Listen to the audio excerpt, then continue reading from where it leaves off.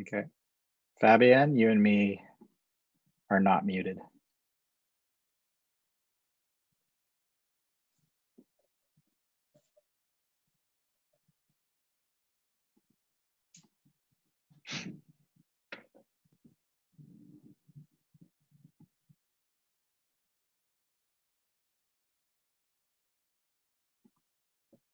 There's a real rush of people entering the meeting right now.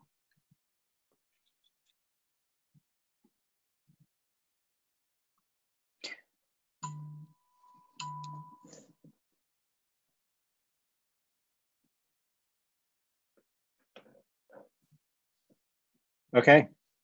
We get started? This Yeah. meeting is being recorded.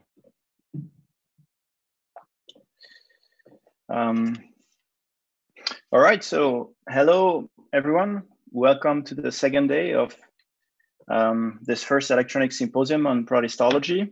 So it looks like we have again a very large attendance today, which is really great to see. Yesterday at, it, at its peak, we had over 500 people following, or at least unique entries, um, including a very large audience on, on YouTube. So hi to people on YouTube as well. Thanks for uh, tuning in. It might well be the, the largest uh, attendance for a Protist meeting. So we're pretty excited about this. Um, and also thanks a lot to everyone for uh, overly positive and encouraging comments. It was really great to see. Um, and we hope this is the start of many of those meetings. So I'm, I'm Fabien Burki from Uppsala University, and I will be chairing this first session before the coffee break we will follow exactly the same setup as yesterday. Um, so we have again three 20 minute talks um, plus 10 minute questions and two talks of 10 minutes plus five minute questions. Um, uh, so um, that's that's that. And then at the end of the so during the questions, please raise your electronic hands um, if you have a question, and you can find this option in the in the participants tab under the more button uh, button at the bottom. So if you click the, the more button, then you have a little hand, you can raise that, and then we'll take the question um, uh, in order.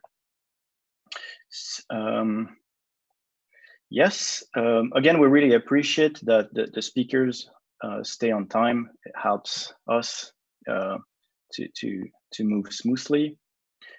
Um, I don't think I have anything else to say here. So without further ado, let's get started with uh, Purificación Lopez Garcia from the CNRS and University Paris Sud. Um, and Puri is going to talk uh, about the protistan way to uh, fungi. So I think I've, I've, stopped sharing my screen here. So Puri, you can share yours and uh, you're good to go.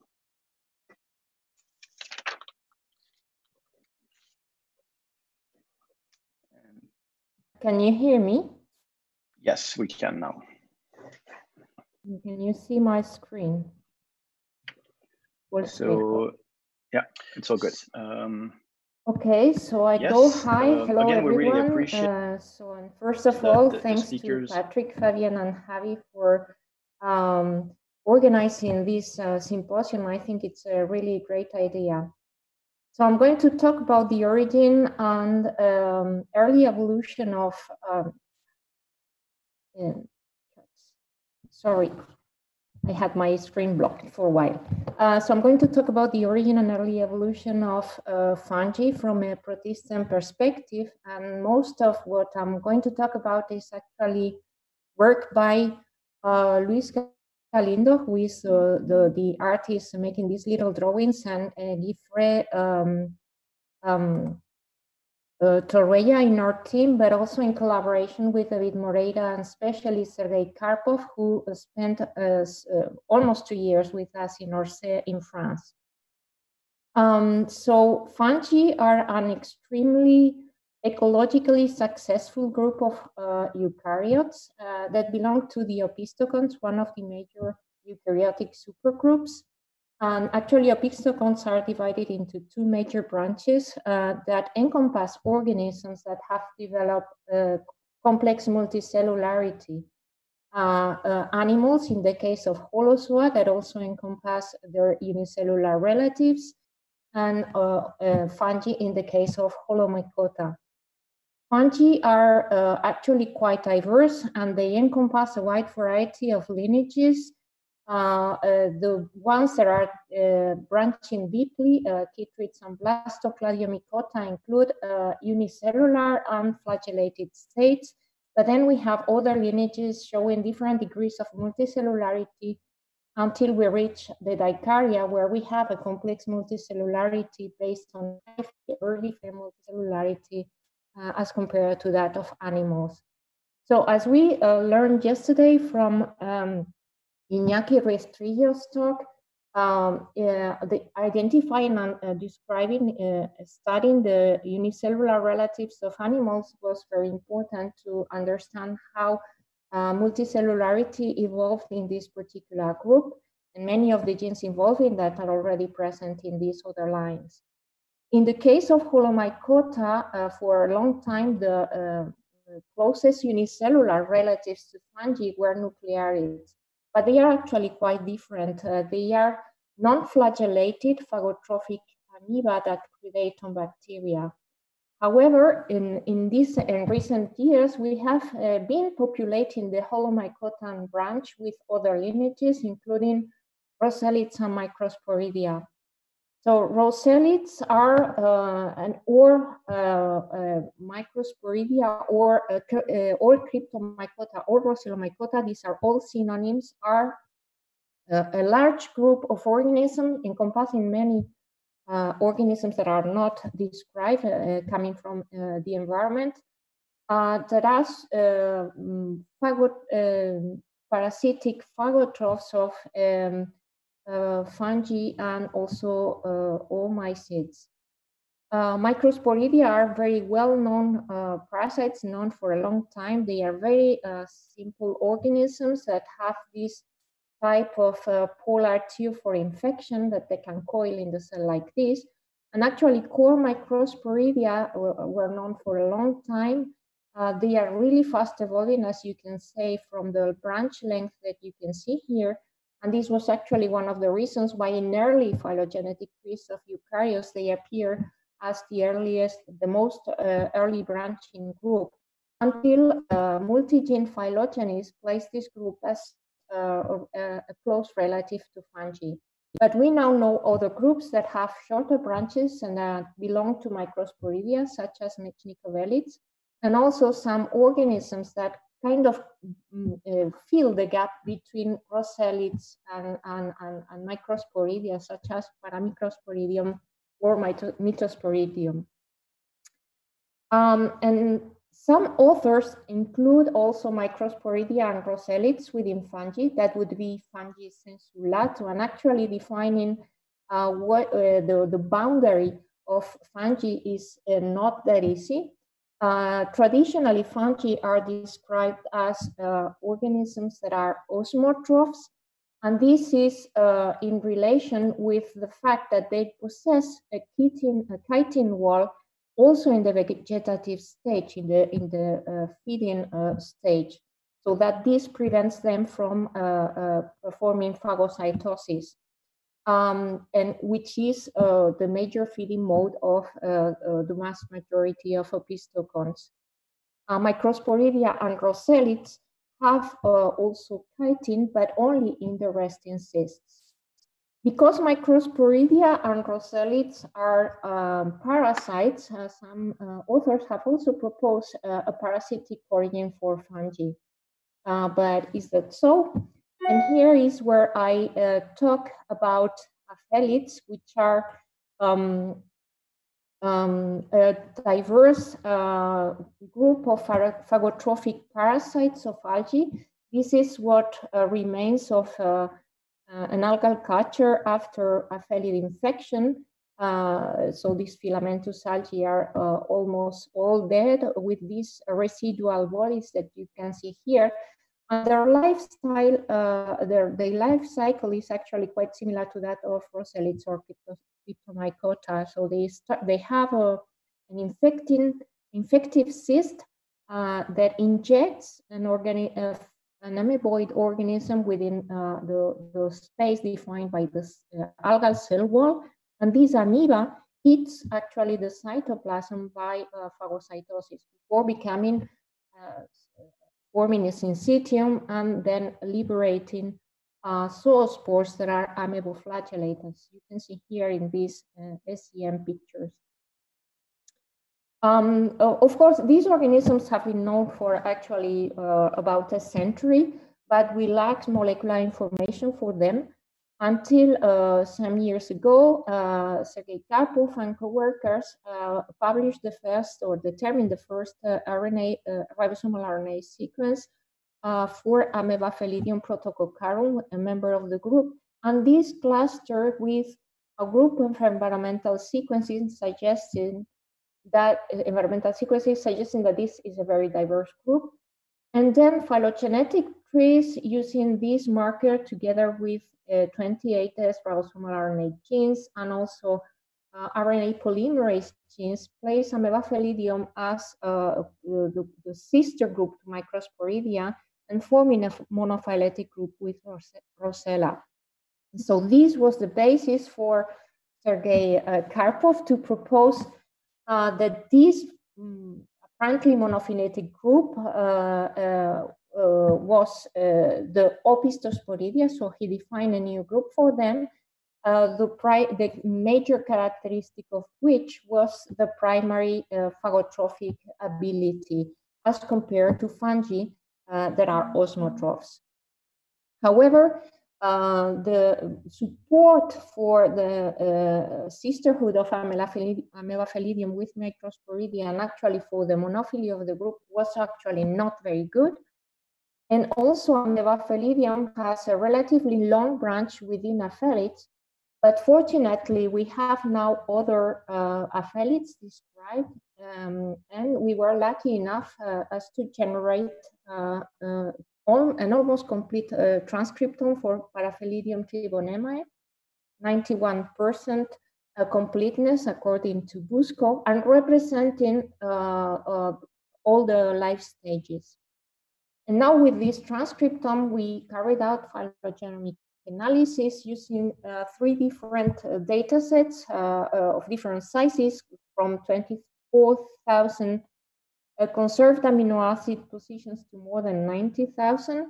And uh, uh, both Bayesian and um, maximum likelihood trees place Paraphelidium as the sister group to fungi, um, uh, excluding Microsporidia and Rozellids. And the support was particularly good for, the largest data sets, and especially when you remove the fastest evolving uh, Microsporidia and actually, the support was even maximal for the smallest uh, data set when you remove progressively the fastest evolving sites. So uh, these appear to be a rather um, support, well-supported relationship.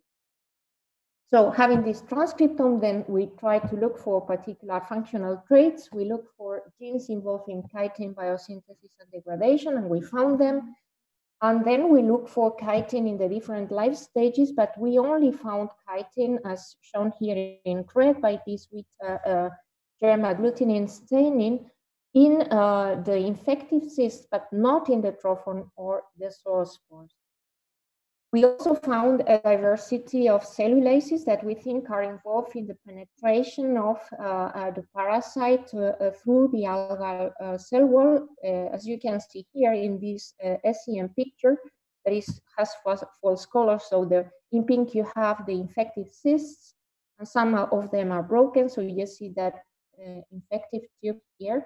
And sometimes these, these cysts exploit also or use uh, mechanically uh, weak points. Um, because uh, these aphelids are parasites, we were perhaps thinking that they had some type of uh, reduced metabolism. So we look for uh, more than 1,000 orthologs uh, involved in different categories of primary metabolism. And actually, we were surprised to see that Paraphelidium clusters with fungi and far away from uh, parasitic rozellids or microsporidia. And this is also uh, seen in this cluster analysis where you have Paraphelidium in the middle of fungi and uh, far away from Microsporidia or Rozellids, which are actually quite reduced. So it actually has um, a, a, gene complement involved in primary metabolism that is not distinguishable for, from that of free living organisms. So this is actually at odds with the idea that um, uh, fungi have or had a parasitic origin, and rather support the idea that the ancestor of this whole group uh, was a free living predator, possibly specialized in endobiotic um, uh, predation. Um, and it had already an ameboflagellate stage and a resting cyst with chitin. And the ancestor of fungi was a freely, most likely a free living osmotroph uh, with chitin also in the dispersive cyst. So uh, I, uh, I, think that this is actually the defining uh, boundary that uh, closed the, tra the, transition from a phagotrophic to an osmotrophic uh, lifestyle and that gave uh, fungi the possibility to have that ecological success that they, they display with the possibility also to colonize a wide variety of land ecosystems. We now move into uh, early fungal evolution, and I already showed uh, this scheme showing uh, that the earliest branching um, fungi are actually half flagellated states, but we actually, um, the, the, this part of the tree is not well resolved, and it is unclear whether Blastocladiomycota or Chytrid, Chytridiomycota, are the, the, the most uh, uh, or the earliest uh, branching in the fungal tree.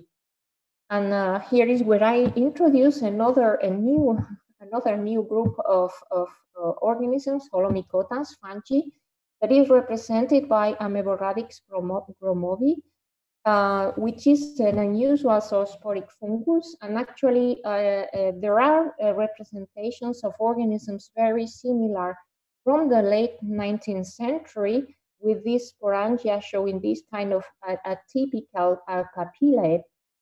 This organism also has uh, ameboflagellated uh, spores, zoospores, but they uh, this is actually a pseudocilium more than a flagellum. It doesn't beat, and the uh, zoospore actually moves by gliding uh, on the substrate. Uh, it also has an atypical feature, a very long kinetosome of around uh, uh, two microns in length that you can see here close to this lipid droplet.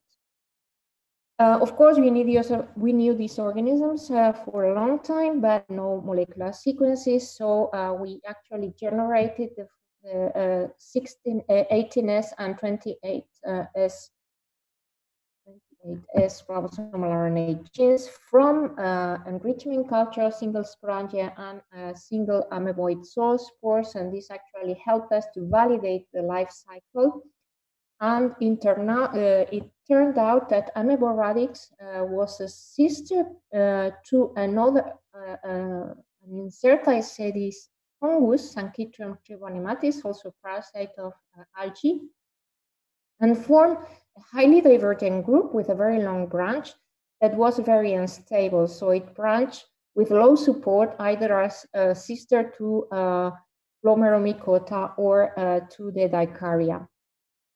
So then we try to obtain, uh, using uh, single cell approaches, genomes for these organisms and actually got them. We produce a, a trans, uh, we sequence the genome of Amoeboradix and a genome for, for Sanchytrium tribonematis and also a transcript from this organism as well. Uh, the genomes were uh, quite complete, actually 92% according to Busco using a fungal database and uh, they were um, compared to the genomes of other uh, zoosporic fungi, as you can see here in these uh, tables uh, of summary statistics. Um, they were actually quite reduced, quite small. And they also have a relatively low GC content, which is indicative of a parasitic um, adaptation or uh, lifestyle. Um, so uh, we, of course, carried out phylogenomic analysis, this time using 264 proteins. And here what we see is uh, with full support, uh, the fact that Sanchytrium appears at, at, as their sister group or, or the most basal group of Blastocladiomycota. And, and the other interesting observation is that chytrids, Chytridiomycota, appear also with full support uh, at uh, the base or, or, branch uh, early, uh, the earliest group in the fungal tree. So now we have a fully resolved fungal tree where we can map different features and the first lineage to diverge where the chytrids. Um, of course, because some chytrids are parasites, we uh, thought that uh, we might see signs of reduction and we looked first for metabolic genes and uh, again, uh, more than 1,000 orthologs uh, covering different metabolic categories, and actually amoeboradix and Sanchytrium in this type of principal component analysis detach from classical fungi and tend to get closer to uh, Grosselid uh, cryptomycota, and also these two um, nuclearids. And you can see also that here in this uh, cluster analysis. Um, and so the most affected categories uh, in terms of reduction are, are, carbohydrate and especially lipid metabolism. But reduction can, can also be seen in other features, and in particular in this uh, atypical flagellum that they have. Uh, so here you have uh, uh, um, uh, TEM images of the axoneme and kinetosome, the ultrastructure of this uh, uh, structure in normal um, uh, eukaryotes, let's say normal flagella, and those for Sanchytrium and Amoeboradix. And as you can see, you have uh, singlets instead of doublets, or sometimes doublets instead of triplets, uh, so that the whole structure of this flagellum or flagellum or pseudocilium is reduced.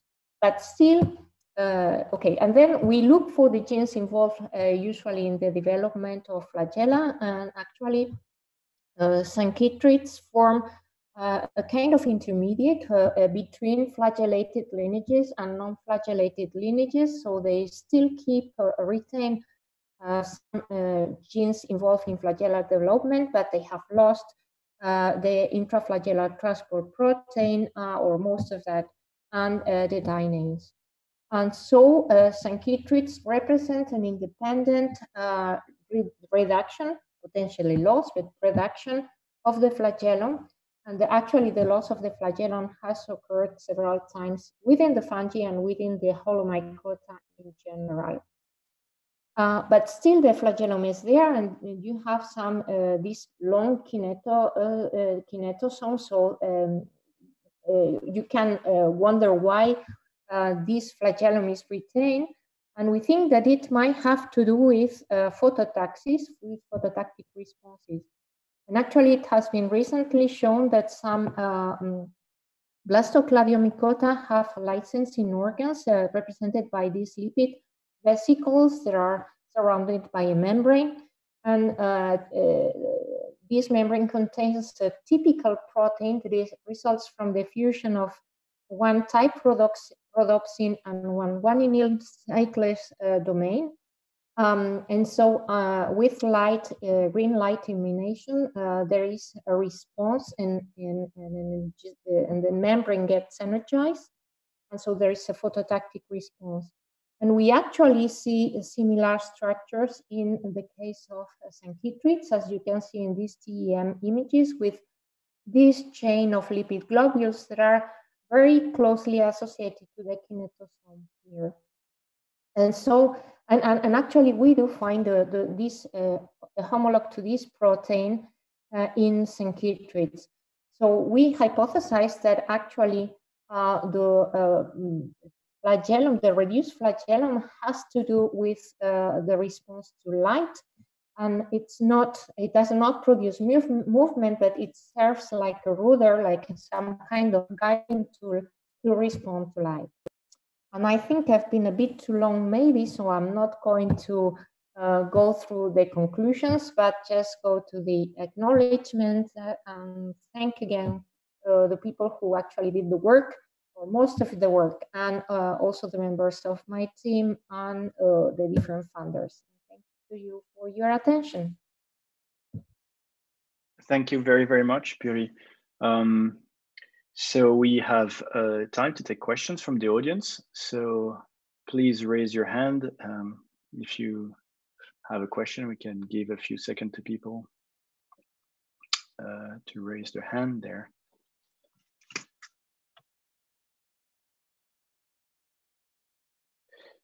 I am not seeing, uh, I see a hand, Alistair Simpson.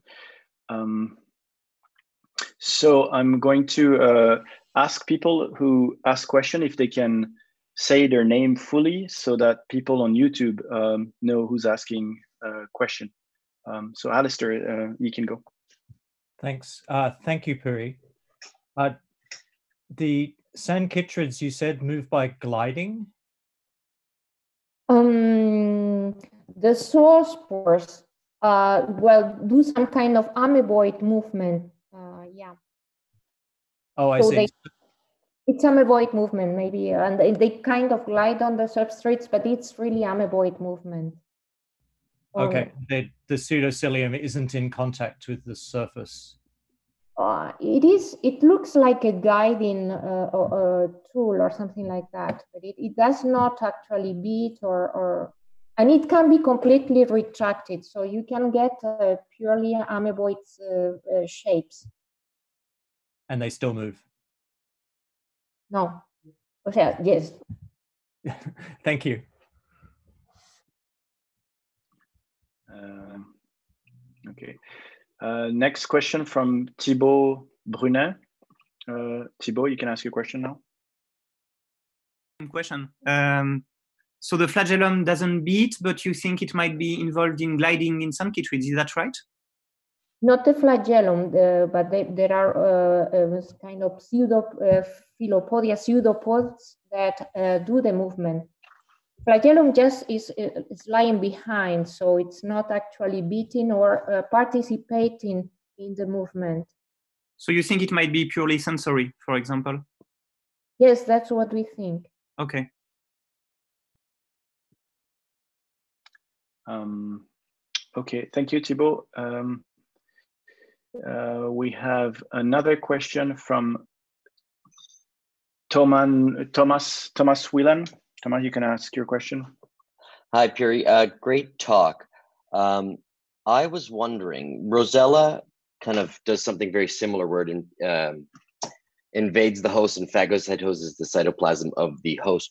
So why do you think that the uh, phelid that you have here is so much less reduced than Rozella, where Rozella seems like it's already reducing towards parodism seen in microsporidia? I think that from uh, that actually fungi evolved from some kind of aphelid-like uh, organism that was almost a free-living predator. It's not free-living because it goes into a, an intra-cell wall space. But then there were two possible ways to go. Uh, one was the one that took the fungi and then they became osmotrophs. And then the other one was going further on the, the reduction and the obligate parasitic way and that's where we find uh, actually. So I think, and, and then uh, microsporidia. So I think that they took this um, reductive pathway that aphelids doesn't seem don't seem to show. Um, all right. Thanks. Um, we have a, a, couple of more minutes. I, I have a, a, question actually. I, I, think you you showed a, a slide about this, but I was not paying attention at this time. But is there a, a possibility that aphelids are paraphyletics? Uh, paraphyletic? Uh, is there is there a possibility that aphelids are paraphyletic? Uh, there is a possibility, and for that we need a second aphelid genome or transcriptome, and actually we are working on that. We have uh, RNA from a second aphelid, and I, I, think that we will try to find that. But yes, of course, things might change, and there, that possibility would be very interesting, by the way, because you could also say uh, or think that maybe fungi are within aphelids, and that's another question. yeah, that's where I was going. But okay, thanks. I guess first, and then uh, yeah. But you're you're absolutely right. That's a possibility, which would be okay. Future will tell. Okay, cool. Well, uh, if there's no more question for Puri, uh, I think uh, we can thank her again. Uh, it was really, really interesting. Thank you so much. Thank. So um, we will now, uh, so if you can stop, yes. So uh, then um, we'll move on to the next speaker, which is Julius Lukeš from the Institute of Par Parasitology at the University of South Bo Bohemia in Czech Republic. Um, yes. Um, I am not seeing Julius. Uh, do you have your, your video turned on, Julius?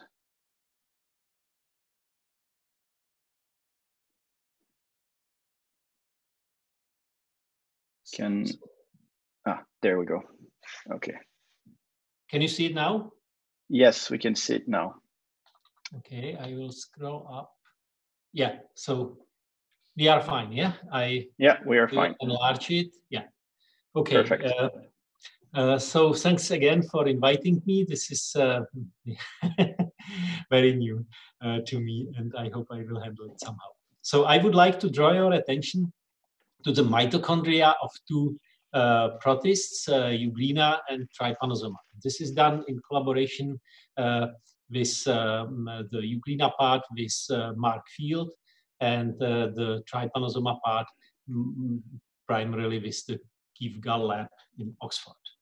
Uh, Euglenozoan protists, as you know, are composed of three major groups, euglenids that are mostly photosynthetic, uh, important in ecosystems, uh, kinetoplastids, which include uh, famous pathogens of humans and other vertebrates, trypanosomes, leishmania, and then diplonemids, which is uh, a group that was kind of rediscovered, is extremely diverse and highly abundant in the oceans. And they are shown here with their features. Uh, uh, they are quite peculiar, each of these groups. Here is another rendition. So here you see the kinetoplastids uh, are well studied for many, many years, for decades. Uh, many genomes are available, functional genomics uh, working and so on. Diplonemids, uh, there is no complete genome yet available, but hopefully will be published this year. Functional genomics works, so that's uh, that makes them amenable to um, functional studies. And euglenids, there is pretty much only one genome available, but several transcriptomes, and um, getting DNA there and doing what uh, you want is, is pretty challenging still. Uh, mostly mitochondria have been studied in protists, in the parasitic ones, like kinetoplastids, Naegleria, as you can see here, Apicomplexan, uh, except Chromera, uh. So we know very little about the free living ones.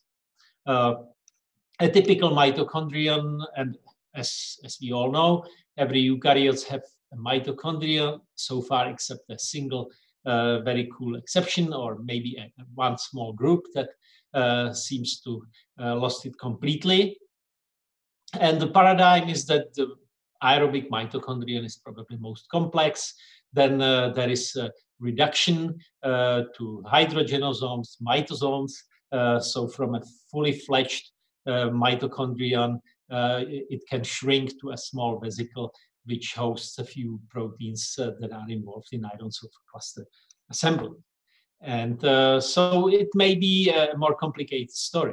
So what we did was we uh, we embarked on uh, studying the mitochondrion and plastid in Euglena uh, because it's it's uh, it can live anaerobically, aerobically, uh, has uh, quite a few interesting uh, pathways in its, its mitochondrion predicted and is of biotechnological interest.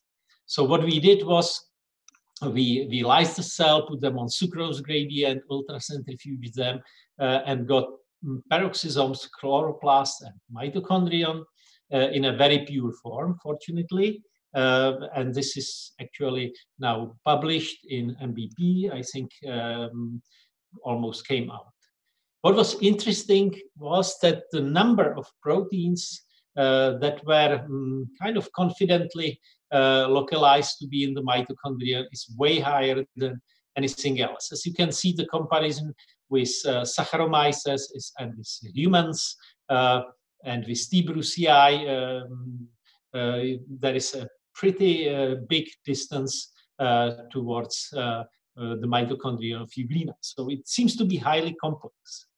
And an example of a, a one pathway that is well studied uh, across mitochondria is the iron sulfur cluster uh, synthesis, where you can see uh, that um, it, there is nothing new on the pathway, it's just complexified. There is more proteins uh, than you would expect, uh, more chaperones and more proteins that are involved, uh, duplicates, and so on, than uh, you find in, in other eukaryotic mitochondria. Um, here is just a rendition of the protein import machinery. Dark blue is mass spec evidence, light blue is uh, presence in transcriptomes, and gray is, is absent. Uh, what was uh, stunning is that even with this enormous complexity of the mitoproteome, uh, Euglena has no sign of RNA editing machinery. So there's 100 proteins that are present in trypanosomes and pretty much uh, extremely well studied actually, they are absent. Uh, while there is 200, a family of 200 mitochondrial transcription termination factors and ribosome assembly factors. So uh, we have no clue what these are doing, but uh, the sheer number is, is stunning. And so uh, actually the total mitoproteome is estimated to be close to 2,500 proteins, which is for a single cellular organism uh, huge. And I would argue that uh, our favorite protists will have more complex mitochondria than uh, humans and, uh, and then other multicellular organisms. So that was the story of the mitochondrion of, of uh. And uh, let's go to trypanosomes, uh, as shown here, with red blood cells, causative agents of African sleeping sickness, the, mm, the incidence of which is going down. Uh, the particularly interesting feature of the mitochondrion of trypanosomes is that it comes in two strikingly different forms. One is in the mammals, uh, where uh, the mitochondrion is reduced uh, morphologically reduced, has almost or no, no cristae at all, kind of a sausage uh, shape in the cell. Uh, and the bloodstream stage does not rely on it. Uh, it relies on glycolysis uh, because it lives in blood and has uh, access to unlimited amount of glucose. the situation is much different in the tsetse fly vector, where the mitochondrion gets reticulated, grows cristae, uh, and is active and produces ATP uh, because they go into an environment that is poor, uh, where probably purine and some other uh, amino acids are the main energy source. Uh, so here is the, let's say, schematic of uh, the mitochondrion in the procyclic or the tsetse fly stage where it is active, where the respiratory chain is uh, functional. Um, everything is uh, like it should be pretty much in an aerobic mitochondrion. Uh, the ATP uh, synthase generates ATP as it should. The picture is quite different, and this is known for, again, at least 30 years uh, in the bloodstream stage, where uh, some of the respiratory complexes are missing, and the ATPase works uh, as ATPase, and it consumes ATP to keep up the membrane potential.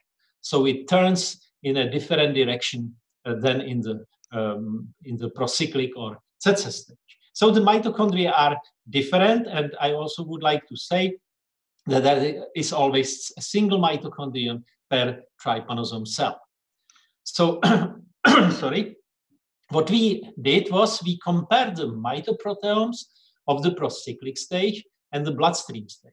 And the paradigm in the literature was that the procyclic stage will have much more complex mitochondria which was supported by a number of uh, range of studies uh, which uh, used uh, antibodies to detect proteins, and they showed that in procyclic mitochondria, the proteins are present. In the bloodstream mitochondria, they are absent. But when you look with mass spectrometry, the picture is different.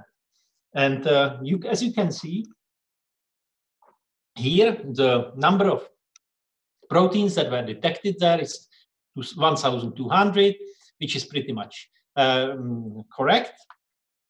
But when we look in the bloodstream mitochondria, it's 960, uh, which is close, which is 80% of the proteins in the procyclic mitochondria. But morphologically, this mitochondrion is really different. Uh, so the, the proteomes uh, look similar, uh, despite the westerns, uh, which showed that uh, several protein complexes and measurements of mitochondrial activities uh, that show that several mm, respiratory complexes are absent in the bloodstream form, but we still found the proteins. Uh, so here is the comparison uh, basic slide just to show that the, the, the, the, categories of the proteins in both stages that were detected by mass spectrometry by a number of studies are very similar. so the conclusions are that the mitochondria of the bloodstream stage is indeed highly reduced in morphology and activity. Uh, there is no dispute about that, but it is surprisingly not reduced in protein complexity. And there is seemingly a very small amount of proteins that do no functions there. But you have to imagine that the trypanosomes go through a very dramatic moment when uh, the happy uh, bloodstream stage that lives in a high amount of glucose uh, at 37 degrees, uh, almost a paradise for a parasite, is taken up by the tsetse fly. In a second, it goes from 37 degrees to 27 degrees to very poor environment in terms of nutrients, and it has to fight. It has to struggle for survival in that moment. So it seems beneficial, apparently, that there is a little tiny amount undetectable by Western, by antibodies uh, in the mitochondria, some kind of seed uh, amount to build as quickly as possible the respiratory complexes before the whole machinery, the transcription, uh, translation does it uh, fully uh, to, to, to restart the mitochondria with those tiny amounts of proteins that have to become functional only when the temperature goes from the 37 to uh, 27 degrees. So that's our kind of hypothesis, and uh, further studies will show whether it's true or not. And the third story, maybe the nicest, I dare to say, and still not published, is uh, that um, we uh, we wanted to know all the proteins uh, uh, in the trypanosome genome, which whichever build the mitoproteome. And the approach that we took was uh, a little bit different, and uh, I will get to it in a few seconds. So the mitochondria of kinetoplastids and here of trypanosomes are packed with uh, unique features.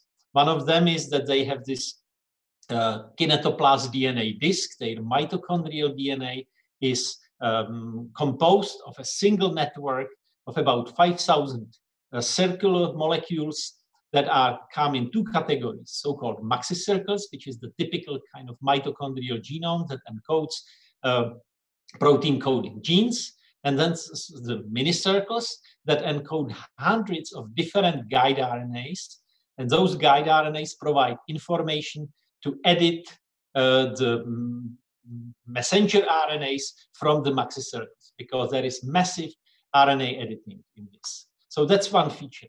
And the, the beauty of this is that the kinetoplast, which is located close to the basal body of the flagellum, has been highly studied. And um, a lot is known. And here is just one slide to show how funny and beautiful it is. Uh, as you can see, those two green antipodal sites. So imagine that the disk slowly rotates between those two fixed antipodal sites. And the minicircles are decatenated from the periphery. They go to this uh, kinetoflagellar zone where they replicate and then they are recatenated back into the antipodal sites. And the system have to make sure that each and every minicircle replicates only once, because almost every minicircle has a different guide RNAs and all are essential. And this is done by uh, the beautiful trick that the newly replicated minicircles, upon their uh, uh, recatenation in the network, they keep a small gap or nick. And only when all minicircles have been replicated once and only once, all the nicks across this 10,000 molecules network are, are mandled, are fixed and filled in, and then it all splits. So uh, a machine, a, a, true machine. And the, mini, uh, the, the uh, transcripts that are produced from this uh, massive, crazy uh, mix of uh, circular DNAs have to go from one protein complex to another to be edited. Some are massively edited, some are moderately edited, some are not edited at all. And about 300 proteins participate in this in the procyclic stage. In the bloodstream stage, this is almost all shut down, and there is nice evidence for that. The mitochondrion of Trypanosoma brucei has giant ribosomes, mitoribosomes. They are very protein rich.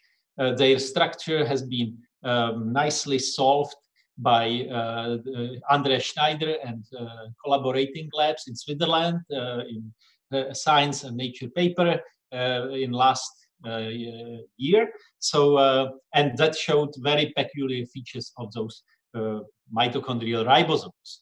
And finally, may, maybe uh, one more feature, some of the kinetoplastids have giant amount of, of mitochondrial DNA in, in their mitochondria. In, in the extreme case of Perkinsella, 90% of all cellular DNA are present in the mitochondria. Only 7% are in the nucleus where they encode 7,000 genes. So the genomes tend to inflate enormously. And in diplonema, you can see there is 250 mega of, of mitochondrial DNA there, uh, coding very little, but so it is. And finally, even for such highly conserved uh, mitochondrial protein complexes such as MICOS, which builds the cristae, which are on the base of the cristae and um, ensures the bending uh, of the of the cristae and interactions with the outer membrane. Uh, there is a big difference between the yeast and trypanosome system, as our lab and Andre Schneider lab showed showed recently. So um, it's uh, it's an, uh, a really exciting organelle to to to study. So we, uh, in order to do that, we took part in a, a, major effort by the Gull lab in Oxford, the aim of which was to tag on the N and C terminals all 9,300 uh, proteins in the T. brucei procyclic stage, which means they generated about 20,000 uh, cell lines.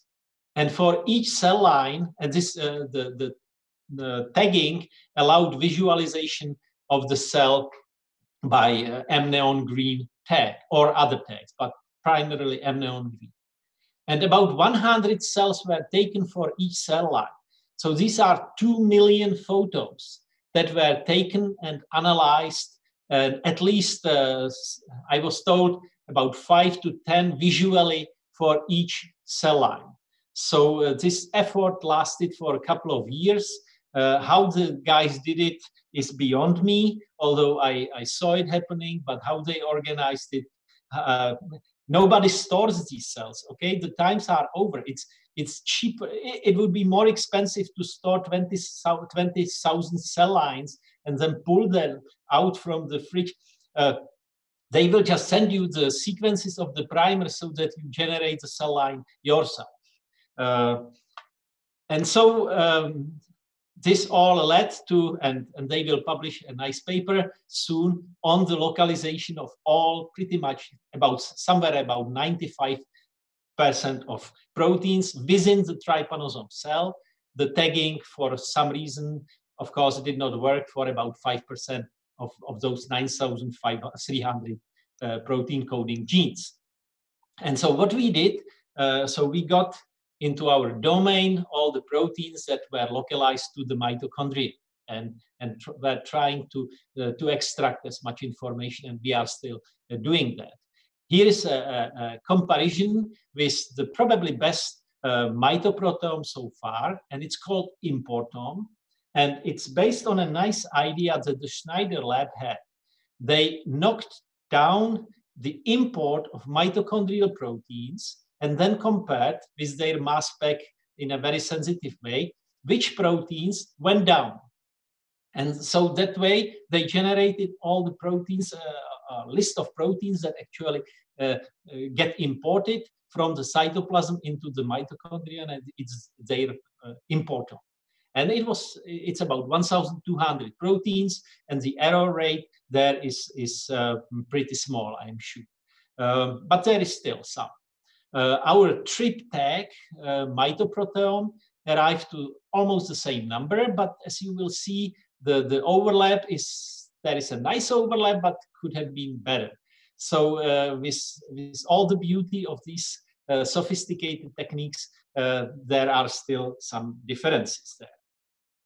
What we did was that uh, we, and I will not go into details because there is no time for that, but we are able to pretty much assign every uh, out of those 1,190 mitochondrial localizing proteins into four uh, compartments into the matrix and inner membrane um, into the integral inner membrane into the intermembrane space or the outer membrane and in the integral outer membrane. So we can do that. Uh, with uh, uh pretty high confidence, we believe. Here is the situation so far. It, this is still uh, ongoing, but maybe 95% of this has been done. Uh, so as you can see, most the proteins are, of course, in the matrix and in the inner membrane. Uh, uh well, not predicted yet. So this is an early slide. We are further. Uh, but uh, and below is a table that compares our localization with the data that is available across all the mitochondria pretty much. And as you can see, possibly incorrect tagging and local mislocalization uh, is the rate is uh, pretty low or very low, we, we dare to say. And wrong localization is uh, extremely wrong, extremely rare. Here is just in a few last slides, uh, the famous protein import complexity of a typical eukaryotic uh, well, there are no other mitochondria, but typical mitochondrion, uh, aerobic, busy with the TOM and TIM complexes, TIM22, TIM23, TOM40, SAM50. Uh, so uh, have a look how that looks like. And here is the import into the mitochondrion of trypanosomes. So the uh, TOM or ATOM is there, SAM is there in the outer membrane. In the inner membrane, there is a big change there is only TIM22, and this was known by uh, from the studies before, and TIM23 is gone. But there are OXA proteins, and there are some other interesting proteins there. So that's quite exciting, and, and we are looking into that. And to the right here, as you can see, and this is uh, one last slide that shows when you put the, the tag on the C terminus, and it's a mitochondrial protein, so it usually goes where it should because the import signal is there that's shown or pre-sequence on this slide, and it goes through uh, the import machinery uh, into its target size. If you uh, tag the protein on the N terminus, you mess up with it and it stays in the cytoplasm. That's very well known.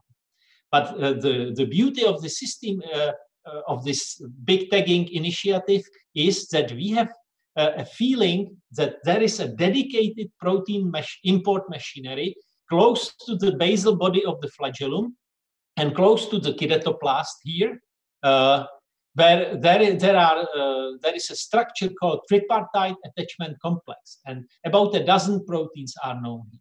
And it looks, when we tag those proteins on the N-terminus, and sh they should be mislocalized. They are not. They go where they should. So there seems to be a dedicated, specialized, beautiful import uh, machinery or, or uh, import mechanism that takes care only of those proteins only in this site of the big reticulated mitochondria. And we will, of course, explore that further. So the conclusions are the TrypTag project localized over 90% of T. brucei proteins anywhere within the cell, and being only the second such effort on a genome-wide scale after yeast, uh, and about 1,200 proteins, uh, one way or another, make it into the mitochondria. The vast majority of mitochondrial proteins is imported via, as expected, the terminal uh, import uh, signal or target peptides. Yet we have also identified a novel subset of proteins that use different import signals. We have reconstructed several pathways, and uh, uh we dare to say this study represents the most comprehensive effort to date uh, at resolving the mitoproteome of the protist. And this work was done uh, by mm, these guys from University of Oxford and their uh, very capable technicians and analysis of the data with some also tagging efforts was done in our lab by Jan Pyrih or Honza here with the arrow.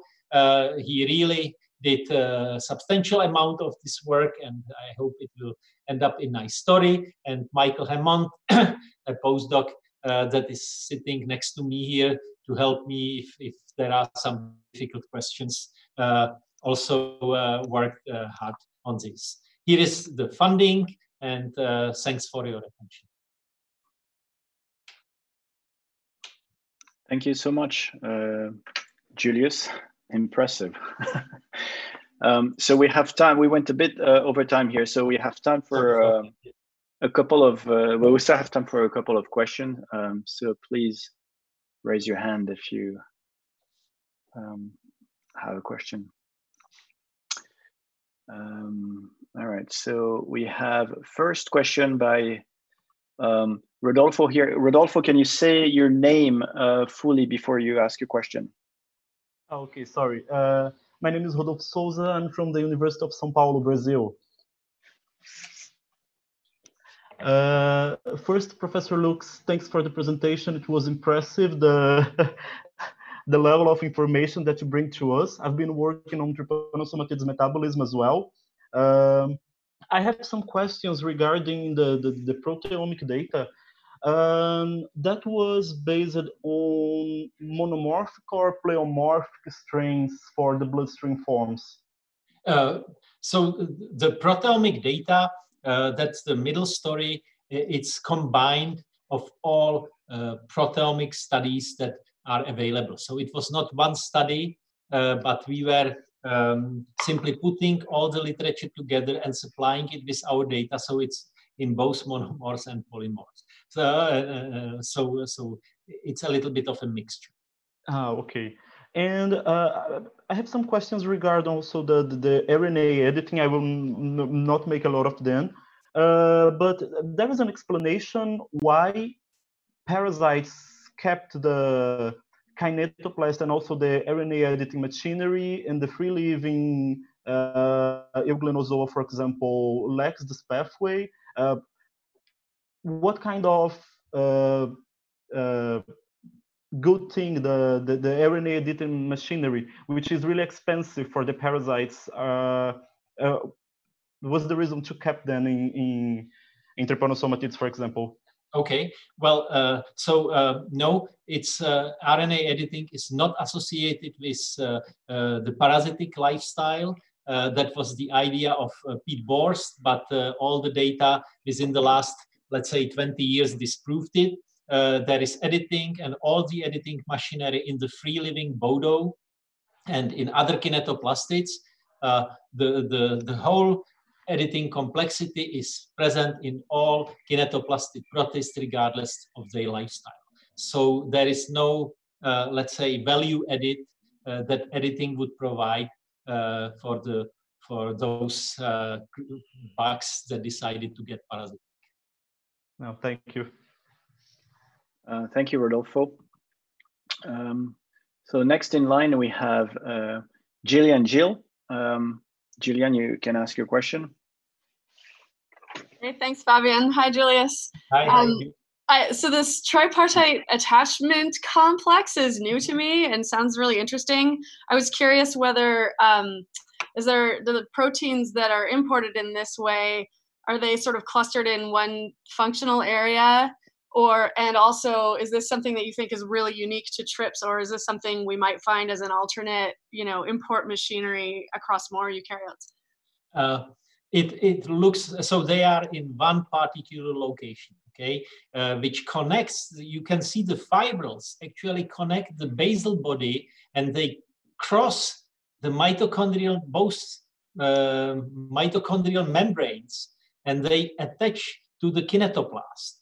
Uh, so they they correlate the division of the cell the flagellum and the mitochondrial dna disk in this way and the proteins that are low, that are considered to be part of the tripartite attachment complex, as I said, it's about one dozen of them.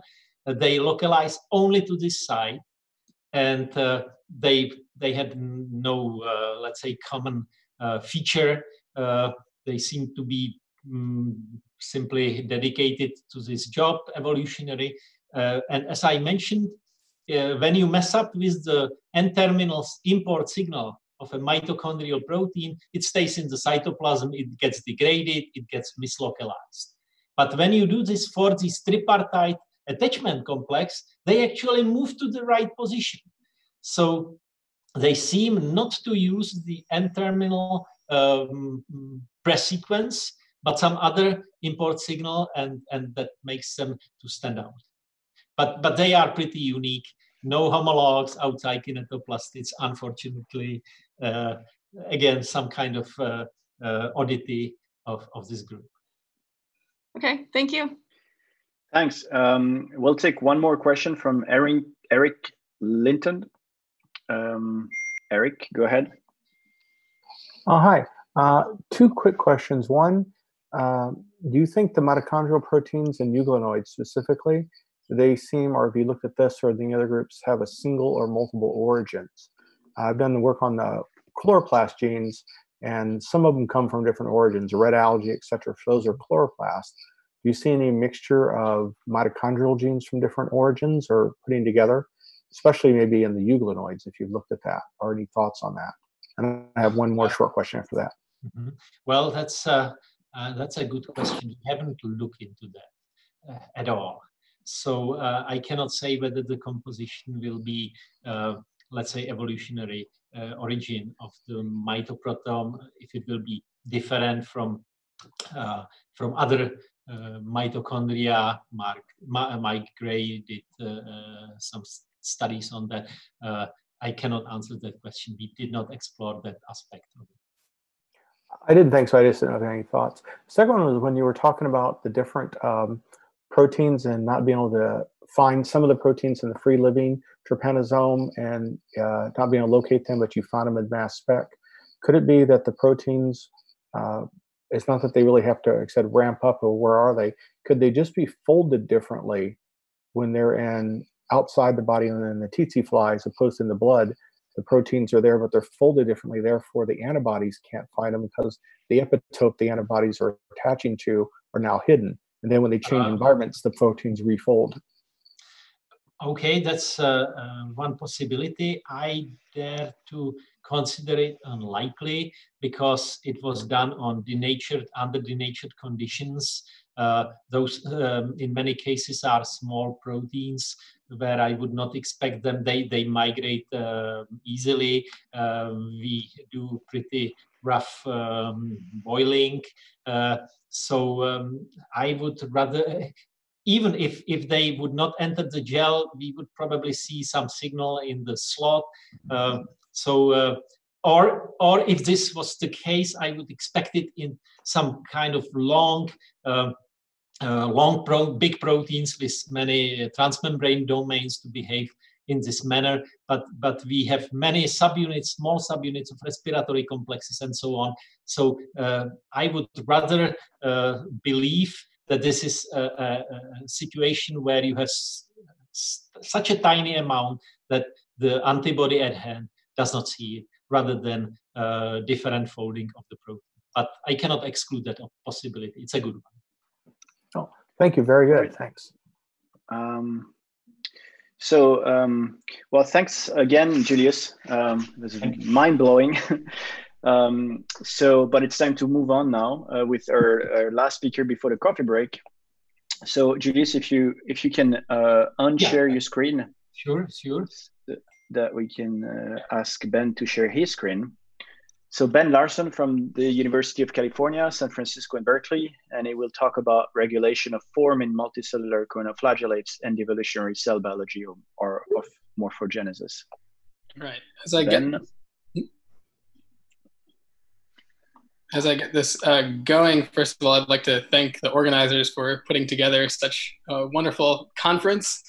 Uh, and then also, I really want to express my gratitude to uh, a lot of people in the protistology community. I've seen many of you here for teaching me uh, so many interesting things about protist, protistology, and doing field work. Um, I found it to be a, a very friendly uh, and awesome community. So thanks for that. Uh, normally, I'd have some mesmerizing videos to share on this opening slide, but they seem to have crashed Zoom. Uh, so I guess I'll just jump right into the talk. Um, and to introduce perhaps a bit of a different perspective, I'd like to emphasize first that in a multicellular context, proper morphogenesis crucially relies on the regulated interplay between cellular behavior and physical constraints. And a really nice example of just what I'm talking about comes from uh, the formation of villi, these finger-like protrusions in the gut that absorb nutrients. Uh, and what you see here is two panels. There's uh, simulations on top and histological sections on the bottom. And it was really by integrating an understanding of the differential growth of different cell layers, this different cell behaviors, in conjunction with physical mechanisms like wrinkling and buckling, uh, that a, a, complete picture of this long observed uh, stereotypical uh, process of morphogenesis really, really came to be achieved. And animals, of course, have these uh, incredible capacities through developmental processes to develop from a single cell uh, to complex multicellular forms. In the case, you know, this uh, steelhead here is demonstrating unique animal characteristics of having a big, uh, flexible body capable of moving around to find food in its environment. And while we're gaining an increasingly detailed and sophisticated understanding of all sorts of developmental processes, we know comparatively little about how complex multicell- multicellularity evolved uh, uh, from you know, unicellular ancestors. And, and Iñaki did a great job of setting the stage uh, for thinking about how uh, the origin of, of development in animals uh, is, is more or less sort of a, a, the, the, origin of, of animals themselves.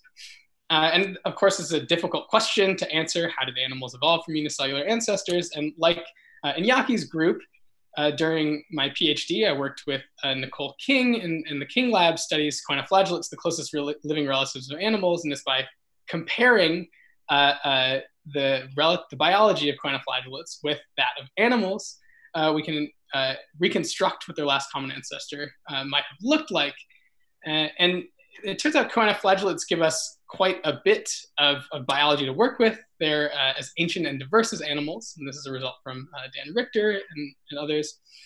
And while you can see this sort of diversity of extracellular ornamentation, the diversity is a bit belied by the, the uh, common cell morphology that we see in choanoflagellates, which is the cell body you can see here, and this apical collar complex. It's these actin-filled microvilli that sort of form a funnel around an apical flagellum.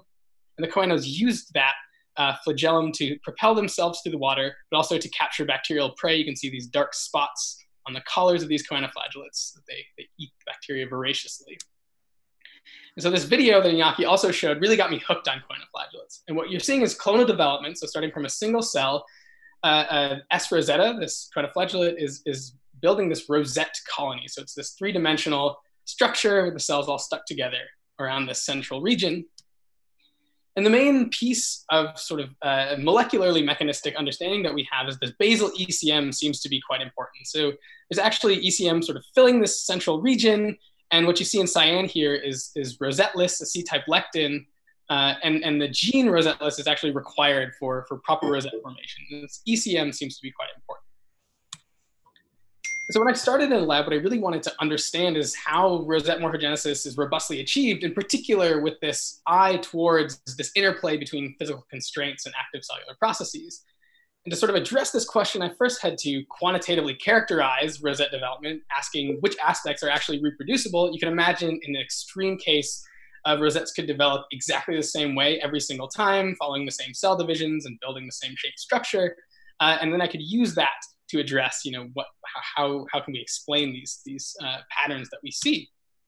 So to start, I developed a quantitative image analysis pipeline where I'm, uh, I took confocal images of, of rosettes that were gently adhered to a cover slip, and I reconstructed this three-dimensional structure. Uh, and I can fit surfaces through segmentation, so picking an intensity threshold to get the outlines of cells, more or less. These are cell bodies here. And then I can extract quantitative information about the shapes of the cells, their packing, and also the shapes and sizes of rosettes. And, and I went and, and, I staged rosettes by cell number. So what you're seeing here is just uh, three orthogonal views on the same rosette in each uh, column here. And I can ask, how does this structure change size and shape as I add cells to the rosette?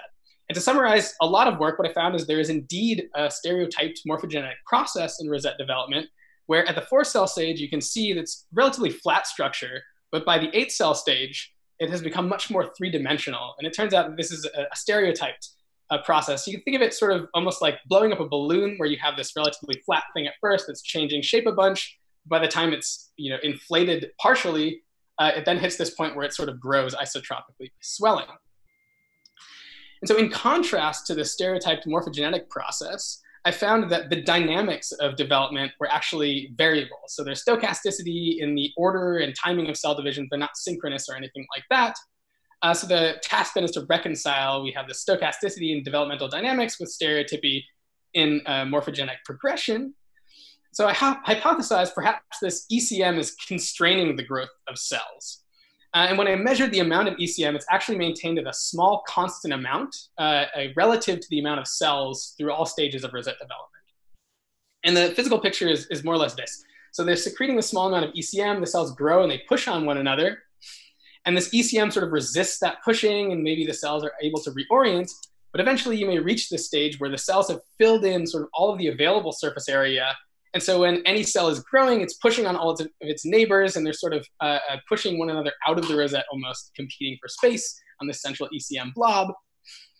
And it turns out this hypothesis gives us very specific predictions about the uh, distribution of stresses in growing rosettes uh, and in contrast to other hypotheses that you might imagine, for example, strong cell-cell adhesion. And we can actually test this uh, stress distribution. And now this is in collaboration with uh, Stacy Lee of the Sanjay Kumar lab at Berkeley. And uh, what we did is laser ablation. And the idea is we zap a cell, we blow it up in the rosette uh, with a laser, and uh, watch what happens to the structure of the rosette after ablation. And any movement that we see is actually a readout uh, of, of the distribution of stresses. So the velocity of movements are proportional to the stress, uh, and the direction shows us the direction of the stress. And what we saw was actually consistent with predictions of this ECM constraint. So in this video, we ablate this cell here. Not much happens. This is a five cell rosette. It's relatively small. But in contrast, if we look at this large rosette, a 12 cell rosette, we're going to ablate this cell here there's much bigger movement. So these arrows, these green arrows are just giving us velocities of movement. And remember, those are proportional to the stresses. And indeed, we saw that as you increase in cell number, you have increasing residual stress. So this is consistent with that ECM constraint hypothesis. Then we can go further, actually formalize. So I have this sort of physical intuition of how, how uh, ECM might constrain the growth of cells. We can formalize with a very simplified model uh, uh our, our physical assumptions about growth. And so what you see here is a, a, cell represented by these linked particles. And in our simulations, the cells interact sterically, so they just take up space and push on one another. Uh, the cells can grow and divide. They can also secrete ECM, represented by these little particles here, and this ECM is sticky. And we really have three main parameters that describe this system. There's one for cell shape, so how long and skinny the cell is, another for the amount of ECM that they're secreting before division, and then another that scales the ECM stiffness relative to how hard the cells push on one another. And what I was surprised to find is that when we constrain these parameters by measurements that we can make as, as best as we can get uh, from S Rosetta, we actually recapitulate rosette morphogenesis, where we even get this 3D growth transition at the eight cell stage. But we can also explore parameter space. And I was very surprised to find that even with this very simplified picture of rosette morphogenesis, we get a diversity of shapes uh, uh, just based on scaling these uh, biophysical parameters. And what's more is, is, is these are reminiscent of forms of choanoflagellates that we actually find in nature. And so our model actually gives us a way to go now out and look at these different choanoflagellates and we can make measurements to see if, if, if we really are hitting the predict predictions correctly based on this, this simplified picture. So this uh, uh, was recently published uh, uh in PNAS.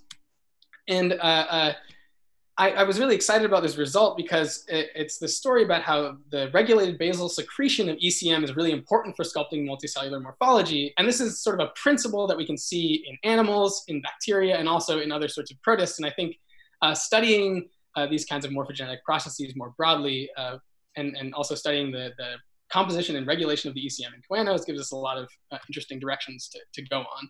Furthermore, uh, uh, it's nice that I have this sort of more biophysical perspective that independently arrived at similar conclusions to these more molecular studies that implicated the importance of the basal ECM. And now to move on to another uh, super exciting story that's probably the, the uh, luckiest thing that will ever happen to me in my scientific career.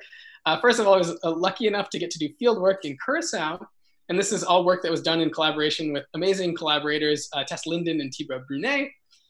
And we were look, looking at the diversity of choanoflagellates around Curacao, and we scooped a splash pool like this. And here's what we saw when we looked under the microscope at our sample. This is a colony of choanoflagellates. These dots are the cells.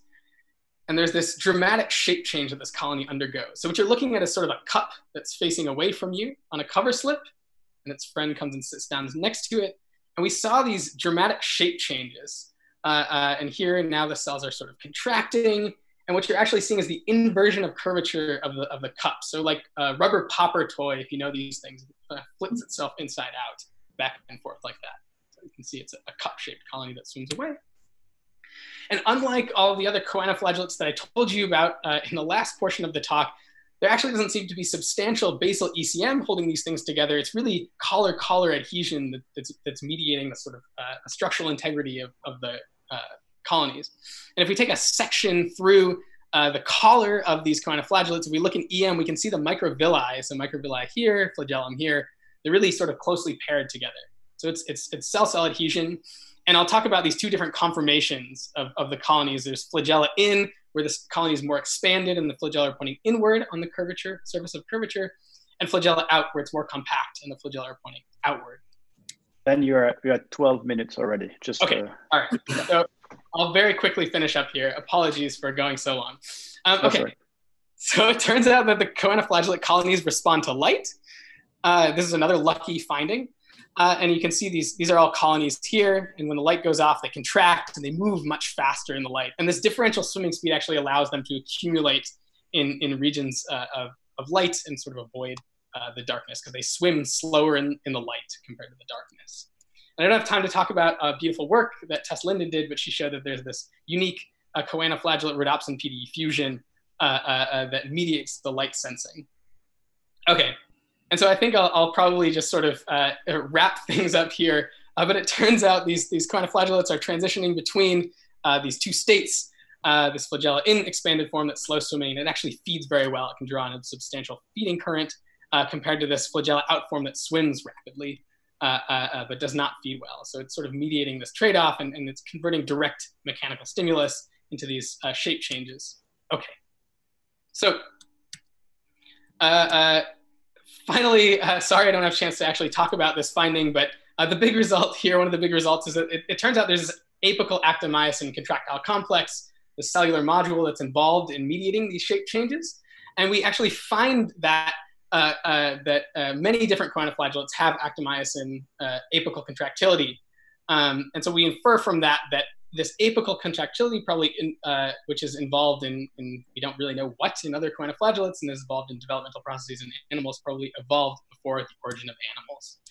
Um, okay, and since I uh, ran out of time, I'll, I'll skip through and just uh, thank. Jesus Christ, Ben. okay, so I'll, I'll thank uh, all of the people who were involved in the work that I shared, and also for you for uh, listening to this talk. okay. Um, thank you, Ben. Um, sorry for rushing you. oh, it's okay. Um, I think we'll, we'll, we're running late so we'll have time to take one question. We have Omaya uh, Dudin here who wants to ask you a question. So we'll uh, take him and then we'll go to coffee break. Omaya? Thanks, Fabien. Thanks, uh, Ben, for the talk. I had actually two questions, but I'm just going to ask one. Uh, it's about the laser ablation experiment. I was wondering what's the contribution of the intracellular bridges? Yeah. And did you try, for instance, to laser ablate just the bridges and see how that affects your compaction? Yeah, so, so it turns out um, we, we can't actually see those uh, bridges with the confocal microscopy that we're using. They're very, very tiny. Uh, and I'll just say that, that if sort of bridge tension where uh, the dominant uh, physical contribution uh, I would expect actually stresses to be in the opposite direction. So they're building up tension in the bridges, they're getting stretched. So then if you cut this thing, you'd actually expect the colony to open up. So the yeah. relaxation of the colony would have been in, in, the, in the, opposite sort of direction. Um, and we really don't know much about the function uh, of these bridges, and it would be great to learn more. Um, but for now, since we don't have any really molecular markers, um, we, we uh, sort of have to look at them in, in electron microscopy. But uh, it's a good question. Thanks. Yeah, thanks. Um, okay, so it's time for our uh, coffee break now. But before we break into um, the different rooms, uh, Patrick Keeling had a, an announcement. I'll, I'll, keep this really brief. Can you all hear me? Yes. Yes. Uh, first is um, we're going to keep the live stream going through the coffee break because yesterday it uh, generated a new link after we stopped it. So if you are in breakout room number eight, with Javi Del Campo. I just want to let you know that your coffee break will be live streamed on YouTube. So, just so you know, if you wish to uh, leave that room because that you're not comfortable with that, you can ask to have yourself reassigned to a different room. The other thing is, I'm going to do a little bit of an experiment here, and I'm going to open up the uh, registration further to see if we can uh, let more people that have that are on the wait list into the meeting. If you happen to notice that the con- that the number of people in the participants list goes up close to 300, then it's possible if you the meeting you won't be able to get back in because if it goes up to 300, you will be uh, you'll be blocked. And I have posted the link to the YouTube simulcast uh, in the chat. So if you happen to leave the meeting and can't get back in, which I doubt will happen, uh, you can always go to the uh, YouTube room and try back later. All right. So the coffee break was really popular yesterday. I encourage everyone to accept the invitation you're about to get and go into a breakout room, grab a coffee from behind you or whatever, and uh, maybe meet some new people. The recording has stopped.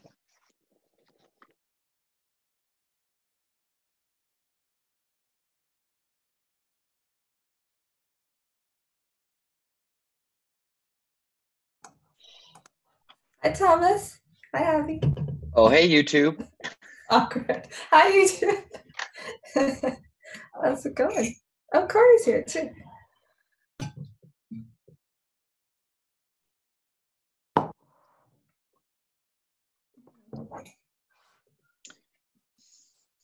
What? Hi, I'm just dropping in. I'm curious to see how many people are in these rooms because there should be 10 to 12. We're seven.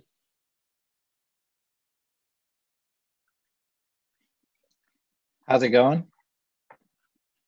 It's going well. 8 a.m. starts at a little early, but I suppose that's what you get at a normal conference. Yeah, well, uh, we had to make it convenient for as many people as we could. Obviously, yeah. No, it's been uh, lots of fun. Thanks for organizing. No problem. I'm just randomly assigning other people to breakout rooms here. Um, Javi, quick question. What what are you using to live stream? Sounds really complicated what you're doing.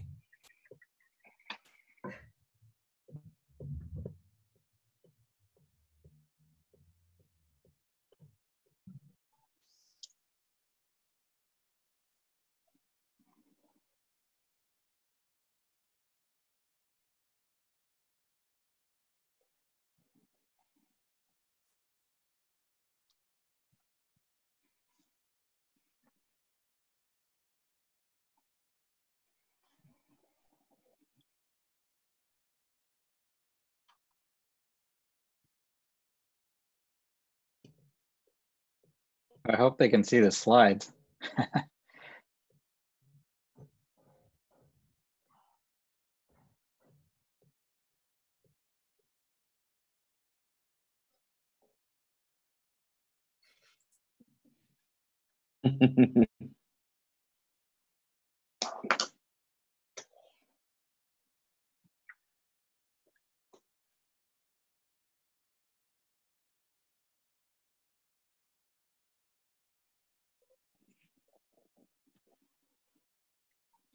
I'm gonna join a different room. I'm bouncing around a bit. Hey, Patrick. Yeah.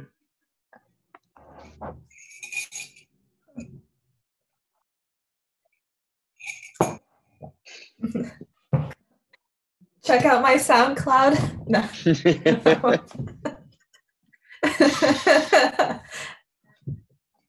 Find me at MySpace. Mhm.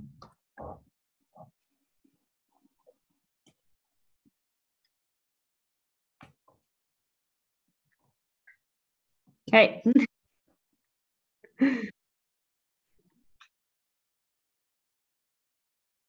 Yes. Just me. It's just me.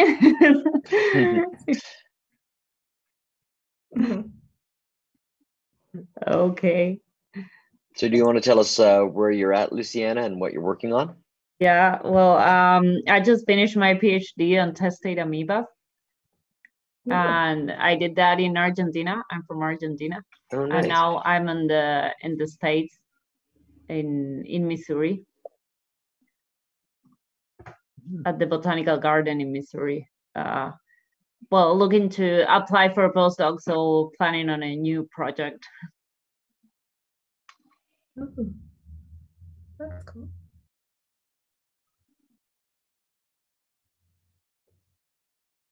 Yeah. Hello, Javier. How's it going? I'm fine. I'm fine. Thank you. How are you?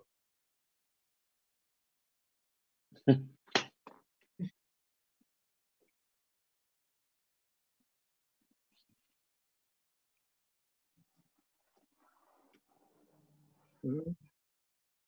So just maybe I will just introduce myself too for those who don't know me yet. So I'm I'm Sasha from uh, St. Petersburg, from Russia, and I work at the Zoological Institute of Russian Academy of Science. And now I have my lab there since last year. So we work on uh, different, uh, several different topics in protistology, mainly biodiversity, phylogeny of different uh, different groups. So my main um, uh, group is Amoebozoa.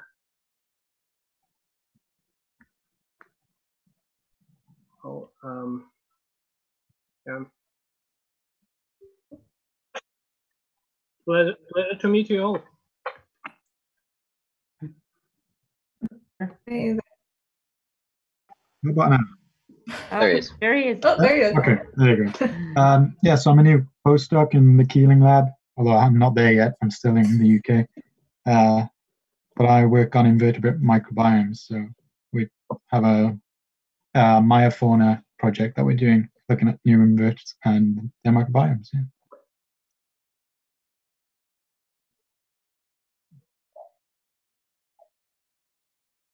Uh, yeah, I'm Thomas Whelan. I'm at the uh, University of British Columbia Naomi Fast Lab. I uh, we study kind of what happens to the spliceosome in reduced systems, and so I study microsporidia in particular, which is why I was so excited to see uh, Puri's talk this morning. It was, it was nice she was added a little bit late to the uh, lineup.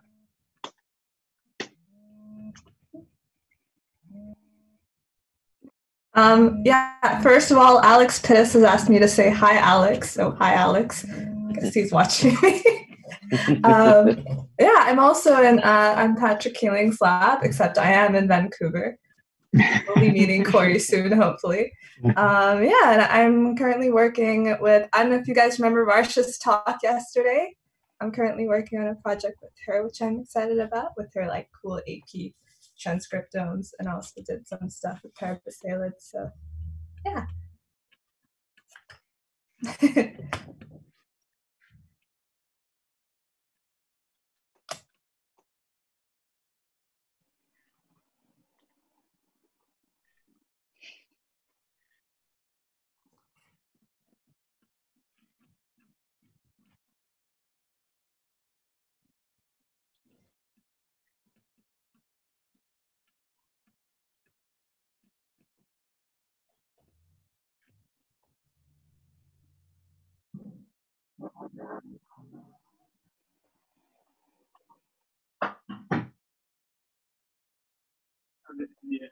authoritarian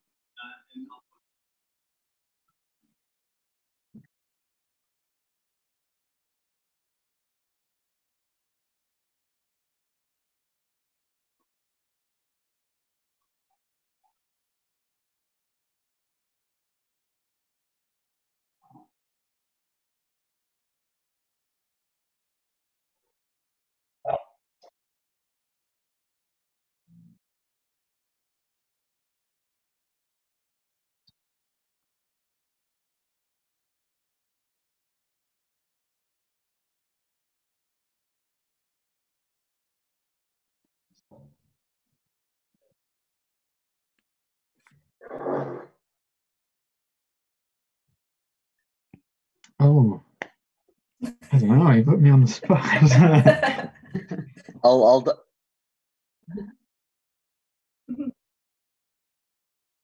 oh, that's nothing. I'm just in my bedroom at home. What does that matter? Uh,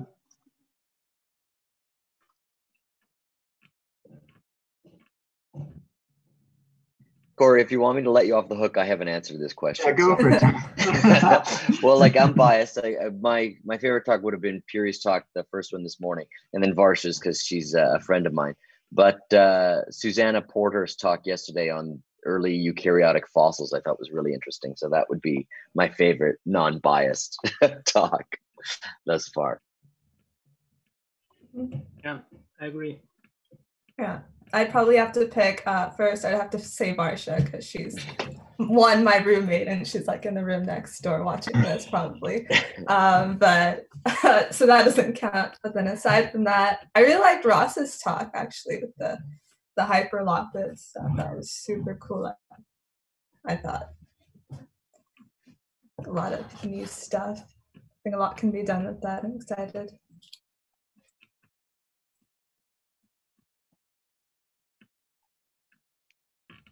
Well, sadly, I couldn't uh, listen to the talks yesterday, so now I have to catch up by YouTube.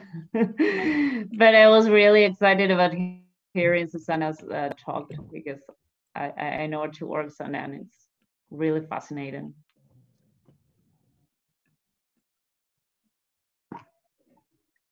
Well, actually, I I I mostly agree with Thomas, and um, I really loved uh, yesterday's talk on uh,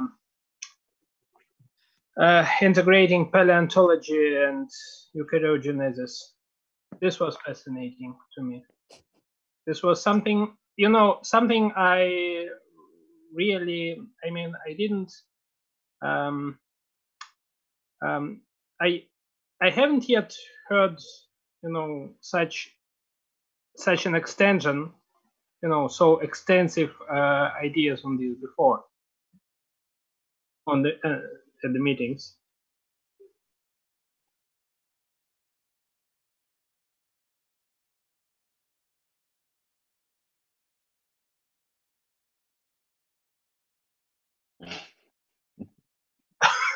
okay, say hi to him. Yeah. sure, sure. Especially given he's in my lab now.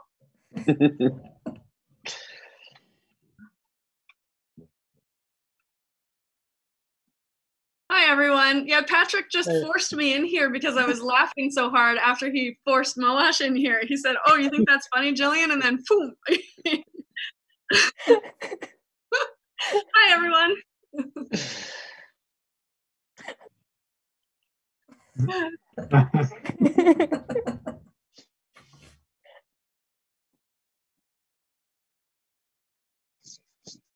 oh, that's a really hard question, Howie. You're you're on record. You're on record. Uh, you're on record, Julian. So be careful what you're gonna say here. Don't you think like Breakout Room Eight is like a nice title for a movie? or for a talk show. And we can Yeah. all be stars. That's all of the talks have been so fantastic. What's your favorite, Javi?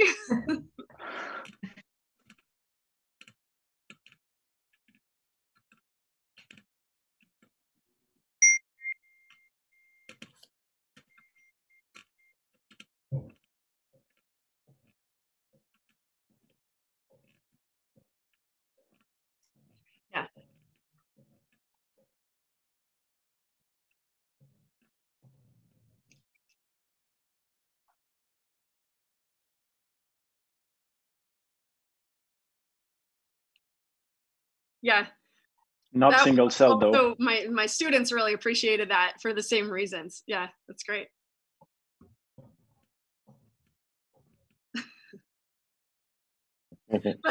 exactly. I'm being recorded, so I've already.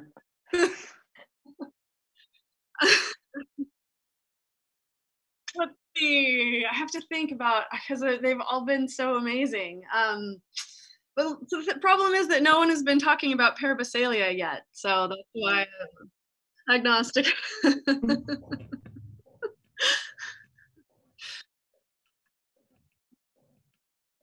I don't think I can give my opinion as an organizer. As an organizer, I, ha- I have to stay totally neutral. you're an organizer too. Let me look at my notes. Too bad. no, I mean I'm not gonna. You're not gonna trap me. I'm not gonna pick anyone. I think. No, I mean I really liked. I also well for the method part. I really I was mind blown by by Ross' technique. I just wanted to say though that you know you just mentioned single cell. I think the purpose here is is really quite different because this does not work on single cell. So if you if you if you use single cell technology because you can't use you know billions of cells to do what you want to do, then then you can't do what he's doing. So, but that said, it's absolutely amazing, and um, I really like the way how he connected that to to stuff like evolutionary thinking. Mhm. Uh, that was super super cool. Um, and uh, I mean, I, I liked all the talks. I was really like Ben Ben's talk today. It's also super cool, and I just wanted to hear more. But but but then when I went when I saw that he was just like having ten more slides and he was already over time, I was I need to stop.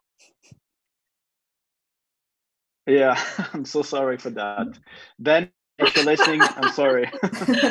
Oh, I know. I wish we could have heard the whole thing. yeah. Is this is this? uh, See okay, we're See. returning. Bye bye. Bye, everyone. Bye. Javi. Bye. Bye.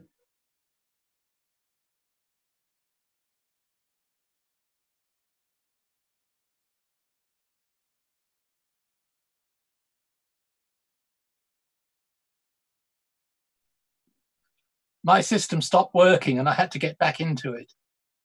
You're just in the main meeting now. You're just at the top of my list, so I could see you there. Okay, so I'll, I'll sh- shut my video off then so you can get on with things.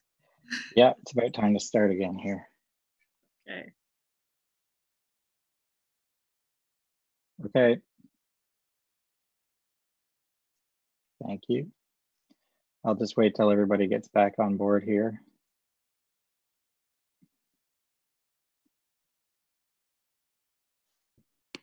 Alex, if you want to put up your first slide, that's probably fine.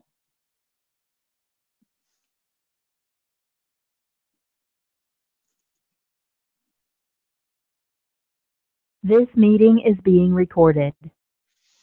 If people want to um, preserve bandwidth, they can turn their cameras off, uh, except maybe the, the various co-hosts, maybe leave yours on for the speakers so that they have live people to see.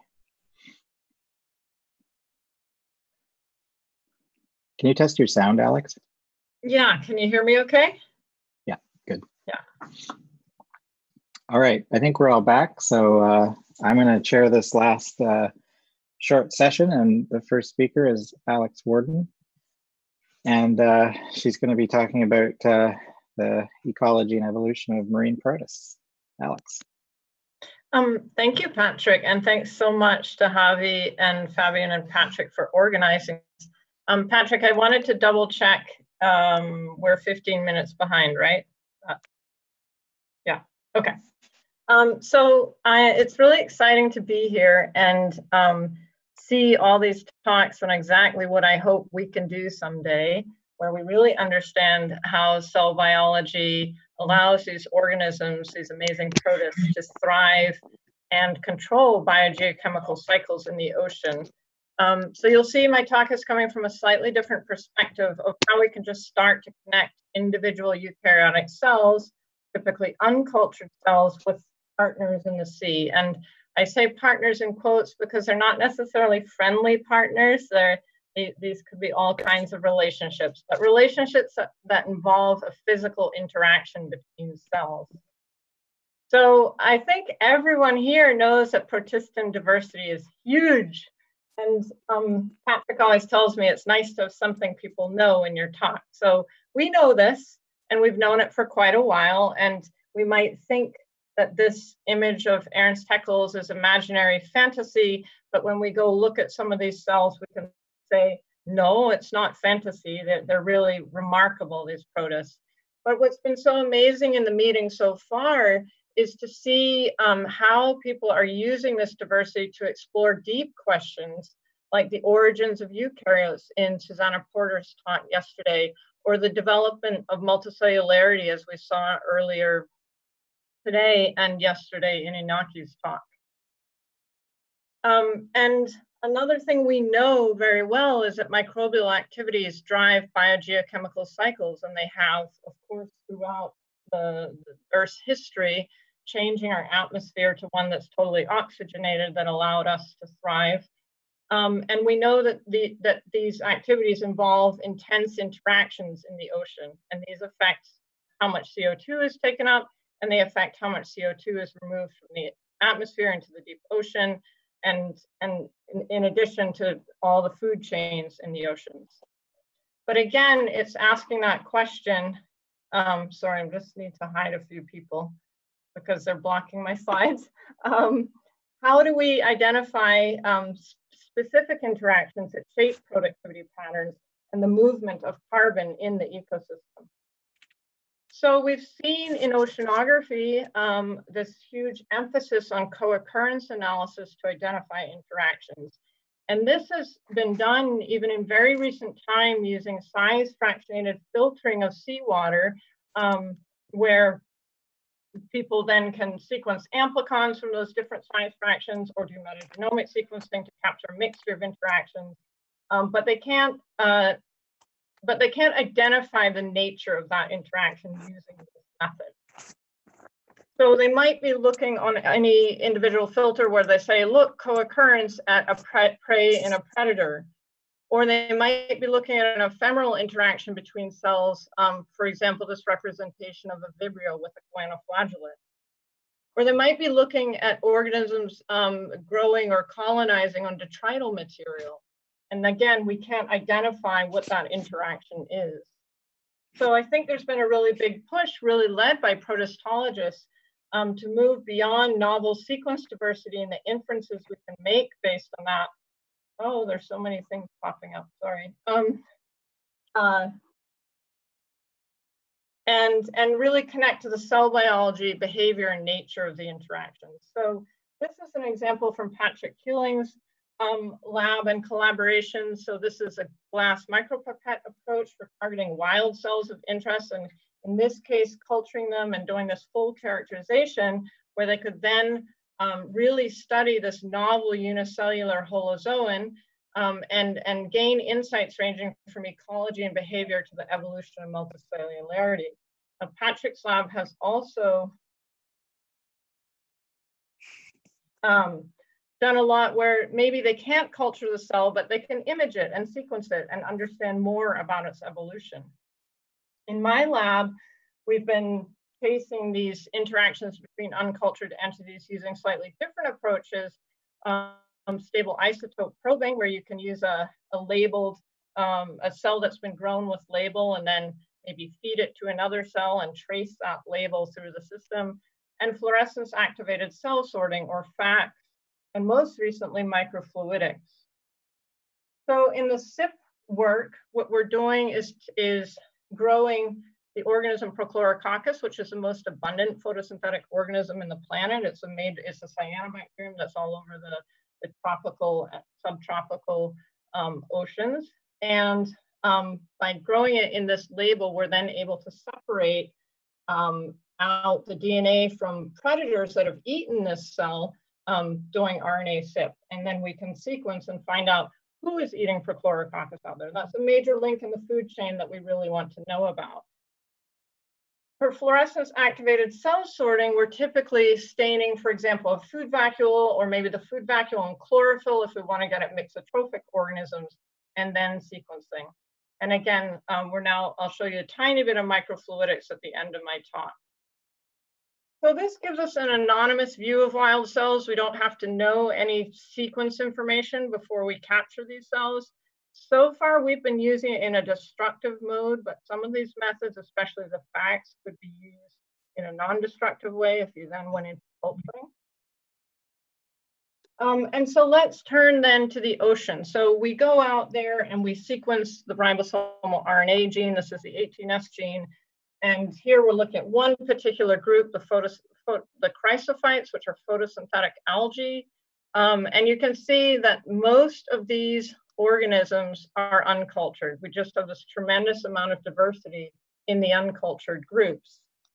And we're working at a really important region of the ocean that's thought to represent what future oceans will look like because it's so intensely stratified that nutrients don't penetrate to the surface. Um, and that's connected to what we think warmer oceans will look like. And so the question is, that's an environment where someone like Prochlorococcus really thrives. So how are these eukaryotic larger cells that could never really compete for nutrients with someone like Prochlorococcus, how are they hacking it out there? So how do they compete with a smaller alga in a low nutrient ocean? So we can look to try to understand, first of all, which of these uncultured guys are out there at BATS. And what you can see here, we're looking at amplicon relative sequence relative abundance. And you're looking at um, across, you're looking at different dates across the X. You're looking at a period called deep mixing in the winter and a stratified period. I, I have the waiting room popping up. Um, and you can see which groups actually matter out in this oligotrophic setting.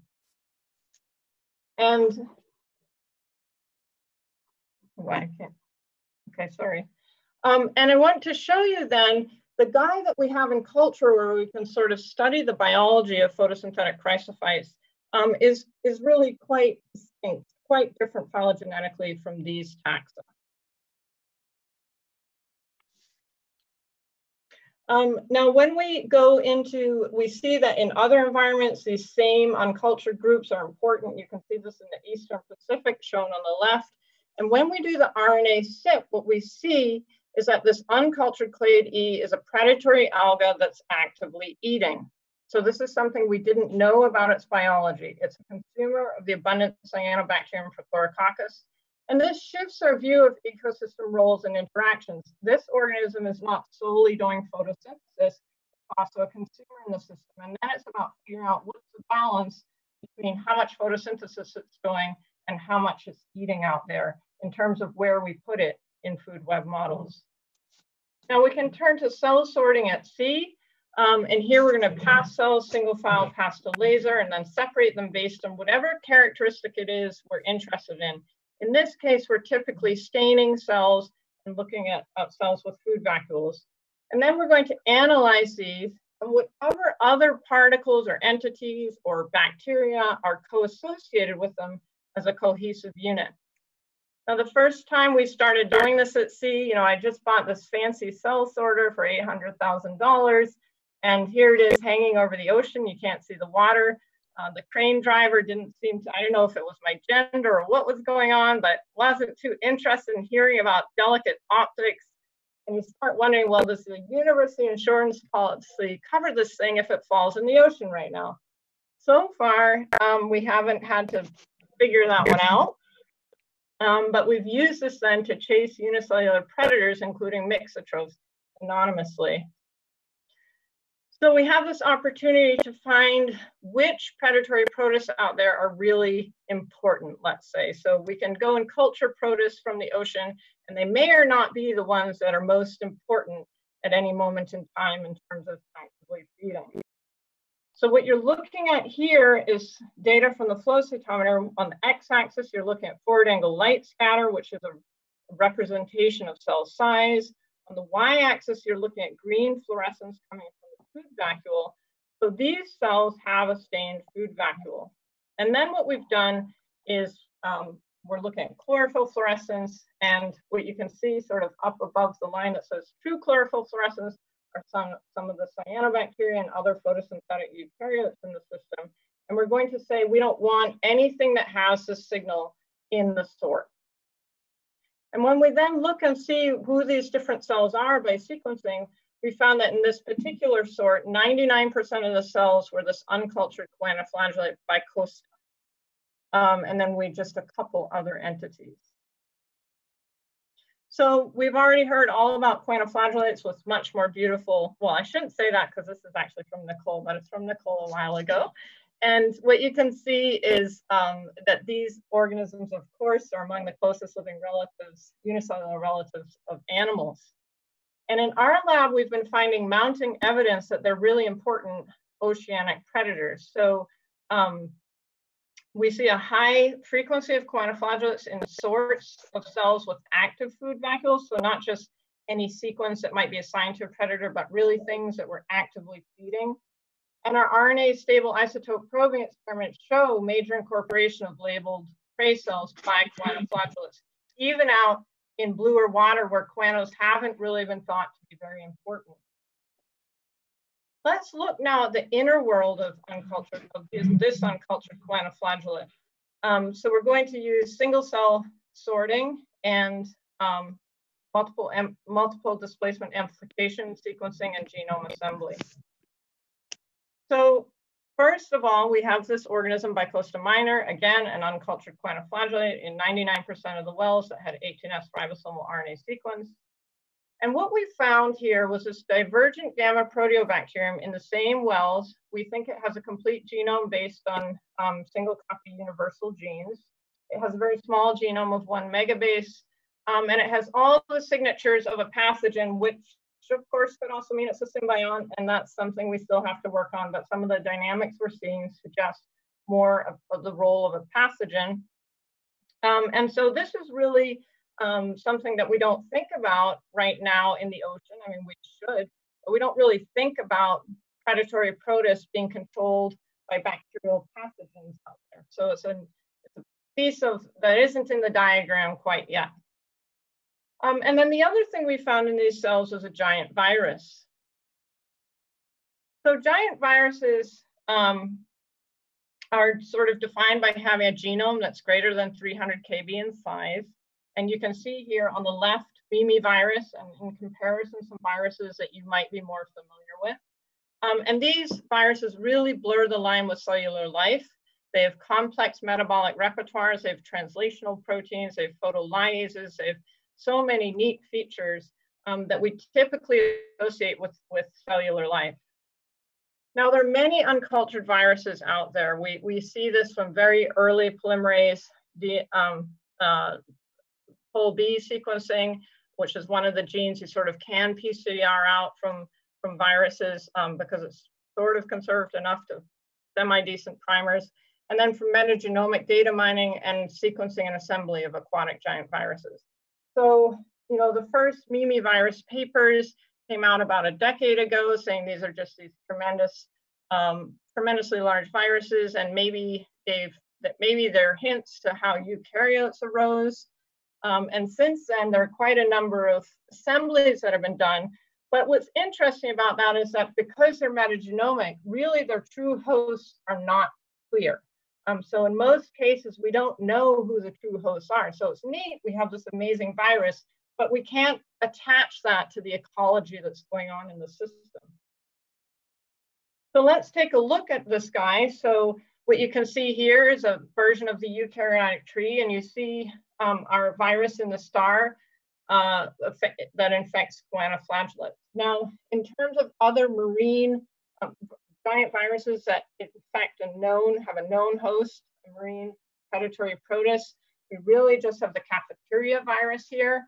Um, and there are many other giant viruses known, and these are, many of them um, come from algae, uh, and, and then the one from the kinetoplastids um, that Curtis Suttle's lab has really followed up on and, and learned a lot about.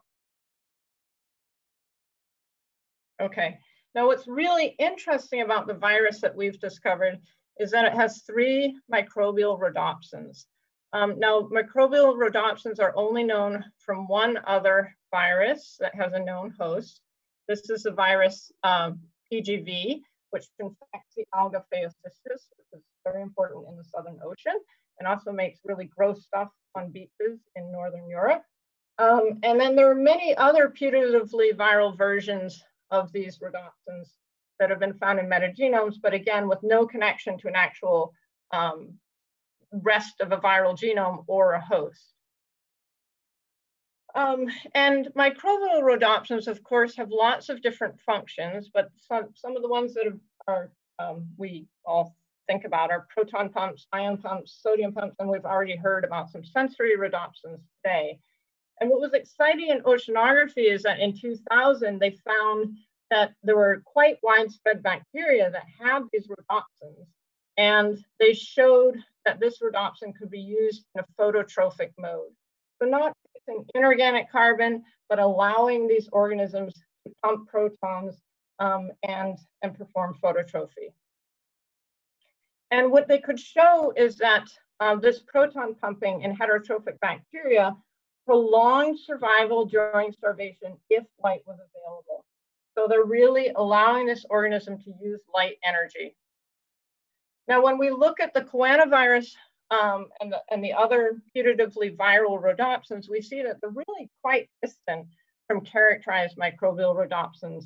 And um, you can see the only other one with a known host is this one from the Phaeocystis um, virus, PGV.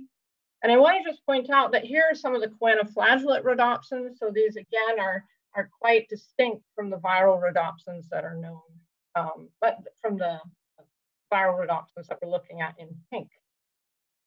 So they're divergent. Are they functional? Um, so this is a really important question because probably all of us here must love Dumbledore. I'm not sure, but um, maybe 90%. Um, it's not just the genes you have, but the way you choose to use them. So what is this divergent viral rhodopsin really doing uh, in these cells? So the first thing we were able to do with Japanese collaborators is is, um, is obtained the crystal structure, and it's the first viral rhodopsin crystal structure that's been um, uh, characterized. And expression in E. coli shows that this VIR in one of the versions in the choanovirus acts as a light-driven proton pump. Um, and what we could see is, what we can see is that um, it also has Sorry, I keep getting things across the top that make me not see my slides, so that's why I'm hesitating. But um, but how would the choanovirus get the required chromophore retinol? Now we've learned from Nicole King's group that actually they can get it from their diet. They can get beta carotene through their diet um, and use this in association with rhodopsins. When we look at the the PGV virus, which infects an alga, what we see is the host has all the genes to synthesize beta carotene that's then cleaved to retinol and used in association with this rhodopsin to collect light and pump protons, or we think. Um, and then we can look at the choanoflagellates, and what we see is they have the first two steps that are associated with other pathways, but they don't have any of the later steps that would take them to beta carotene. And we see, though, that the virus has all of those genes, so it's bringing the whole pathway. And when we look out at the field at transcript, at transcript data, metatranscript data, we see that all of these genes are expressed in the field. So the choanovirus itself encodes the entire rhodopsin photosystem, um, VIR, pigment, and the cleavage enzyme. VIR DTS pumps protons. So we can ask, do we have virally driven photoheterotrophy in a predatory eukaryotic host? And we still need to demonstrate localization and function in the host. And the really sad thing is, of course, the virus is not cultured and the choanoflagellate is not cultured. Um, so there's uh, going to take some creativity to face that. But the reason this is so important is that there's emerging evidence that microbial rhodopsins are major contributors to solar energy captured in the sea. And so to what extent um, is even beta carotene that we measure in the sea and currently attribute to phytoplankton and rhodopsin contributions in the ocean actually from viruses of protists as opposed to being algal or bacterial. How much solar energy capture is by virocells? Um, and we've then followed up doing lots more sorting. And what we can see is that we just have this whole diversity of viruses to dig into that we're getting out of these protist and sorts. Um, in this case, what we see that the eukaryotes that we're really getting in this sort are fungi, um, but the viruses we're getting really associate with known phytoplankton viruses. So we wonder if what we're seeing are fungi on infected phytoalgae, sort of a whole little ecosystem on its own. But the other thing we've been able to show is that other choanoviruses have this VRR gene. So this is a fairly widespread attribute uh, in these viruses. So accounting. Just, just yeah? that's 21 minutes, just so you know. Yes, okay, I'm almost there. So um, I think one of the things we need to think about is, you know, out in the ocean, things are dilute and being lytic may not be very attractive. So is there transient mutualism between viruses and hosts through photoheterotrophy? How transient is a virus state cell in nature? Could these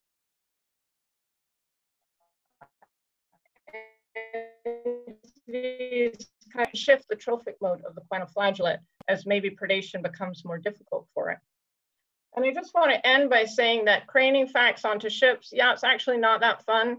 And driving, uh, going to Curacao, uh, where Patrick finally organized uh, several science meetings, um, packing up our instrument and driving it over what turned out to be the septic system, which stressed everyone really out a lot, um, is just not super fun. So the thing we've been working on now is trying to use microfluidics, where we're able to encapsulate cells um, in water uh, in an oil emulsion and then go through these different steps to finally get to a lower cost, um, much higher cell count um, sampling of cells in the ocean.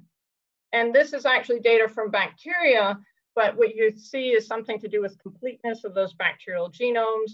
And then what you can see in the bottom panels along the X, you're looking at 815 different cells. I just want to highlight that you have SAR11, this very abundant heterotrophic bacterium. And then what we can say is we think we're seeing several new viruses associated with that cell. Now there's lots to do to iron this out and we've only tried it once on participant cells and there's a long way to go, but I think it has a lot of promise. Um, so there are many other sort-based interactions that we discuss on another day. We've looked at prey and predators through the, the photo, the chrysophytes that are eating. We've looked at um, pathogens in a predatory host just briefly, and viruses. My thing is not advancing. Um, viruses in a host. And then finally, we think we're starting to be able to see this whole little ecosystem of a detrital alga after infection um, being colonized by fungi. And with that, I want to thank everyone in my lab. It's just a really amazing group. Um, and several of them have weathered this move to Germany, which has been interesting. Um, and, and all of you for your attention. Thank you. Thanks. So we have a few minutes for questions. If people could raise their electronic hands, please. uh, I'm going to ask one to start while people are getting figuring that out. Okay. With the um, choanoflagellate interest, uh, the bacteria associated with the choanoflagellate, how how do you take steps to distinguish between a an actual pathogen that does harm versus just a freeloader that just is a good symbiont?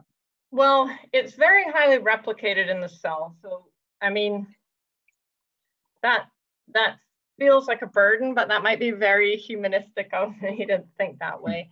Um, we see type 4 secretion systems, again, that could be related to symbiotic event uh, relationship. We see patterns in the environment that look like as the host comes up, we only have this thing in the in the very small size fraction. And then um, when the host collapses, the population collapses, we see many more of these um, pathogen or putative pathogen-like sequences in a larger size fraction, indicative that they're they're associated with that collapsing population but it's all right now. Again, it's another thing where you've got the wild pathogen and the wild host. And I think there's a lot of fluorescence in hybridization to be done. Okay. How are we doing? We're running a little late, so if so, oh, Fabien. Can I, you, can I ask you a quick question? Yeah, it's about. it's too bad you had to um, move over the microfluidic so quickly, but I'm just uh, really curious. Uh, well, maybe maybe can you can you tell us a little bit more about that? So so you so do you do this at at sea? No, you you take back the No, samples. so- and, yeah. Well, so far, um, you know, we, we started out with a protist sample and then, you know, ended up with problems at a stage where we weren't expecting problems and just, and it was such a precious sample, right? Because you go out there and you collect. We decided we'll shift to bacteria where we just, it's just a lot easier, right? Because of the concentrations. Um, and so one of the things we're kind of wondering about now is stickiness. So even though you're in this emulsion, um, just because a virus is associated with the cell, does that mean it was actually going to infect that cell? Or, or is there a stickiness thing going on? So David's been spending a lot of time thinking about that. And then, so how do you make sure that that the interaction you're seeing is really truly related to a physically intentioned, as you describe it, relationship? And I think statistics will help a lot there, you know, with frequency you see it, or if these are two rare entities and you're finding them together all the time, then you can quite easily say, oh, well, this is a true, this has to be meaningful because there's no way these could ever bump into each other because they're so rare um, in the water column. And we do see that. That's one of our confidence building factors. Cool. Thanks. Nice. Right. Thank you, Alex. Um, I think we're getting ready for the last talk. Can you please unshare your screen? And Yana, can you please share your screen? Right, the last talk of the symposium is going to be from Yana Eglit from Dalhousie University, and she's going to talk about a new lineage of protists that she's characterized. Yana.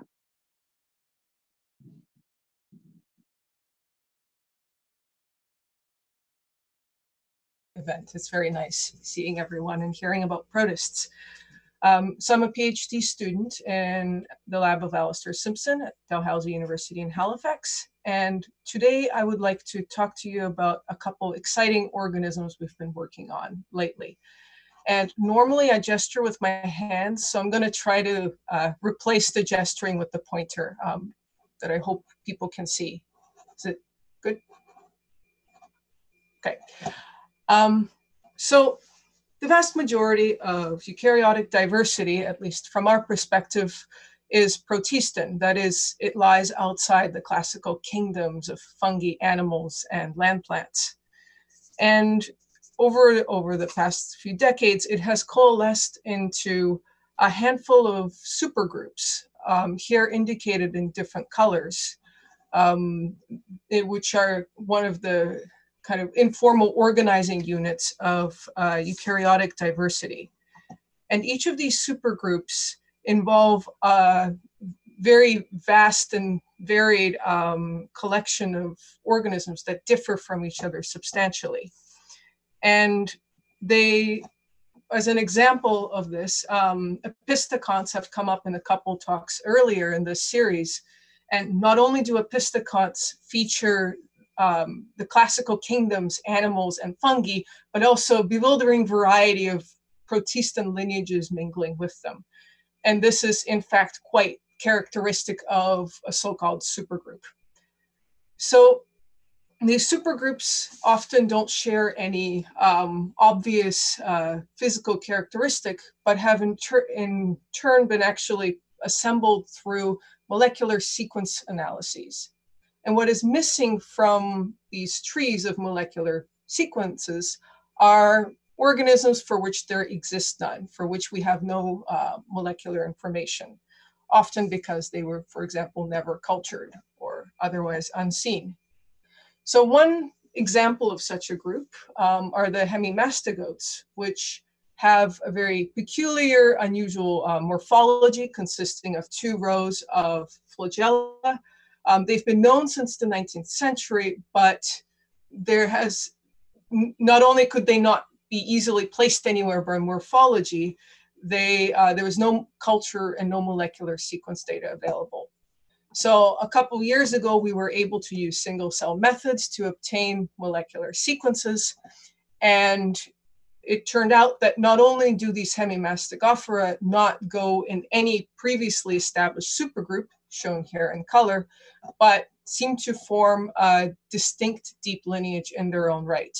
So going back to the tree shown earlier, they um, they fell outside the previously established groups. So today I will talk about two more organisms for which there were no prior uh, molecular sequence data available. So the first of them is Meteora.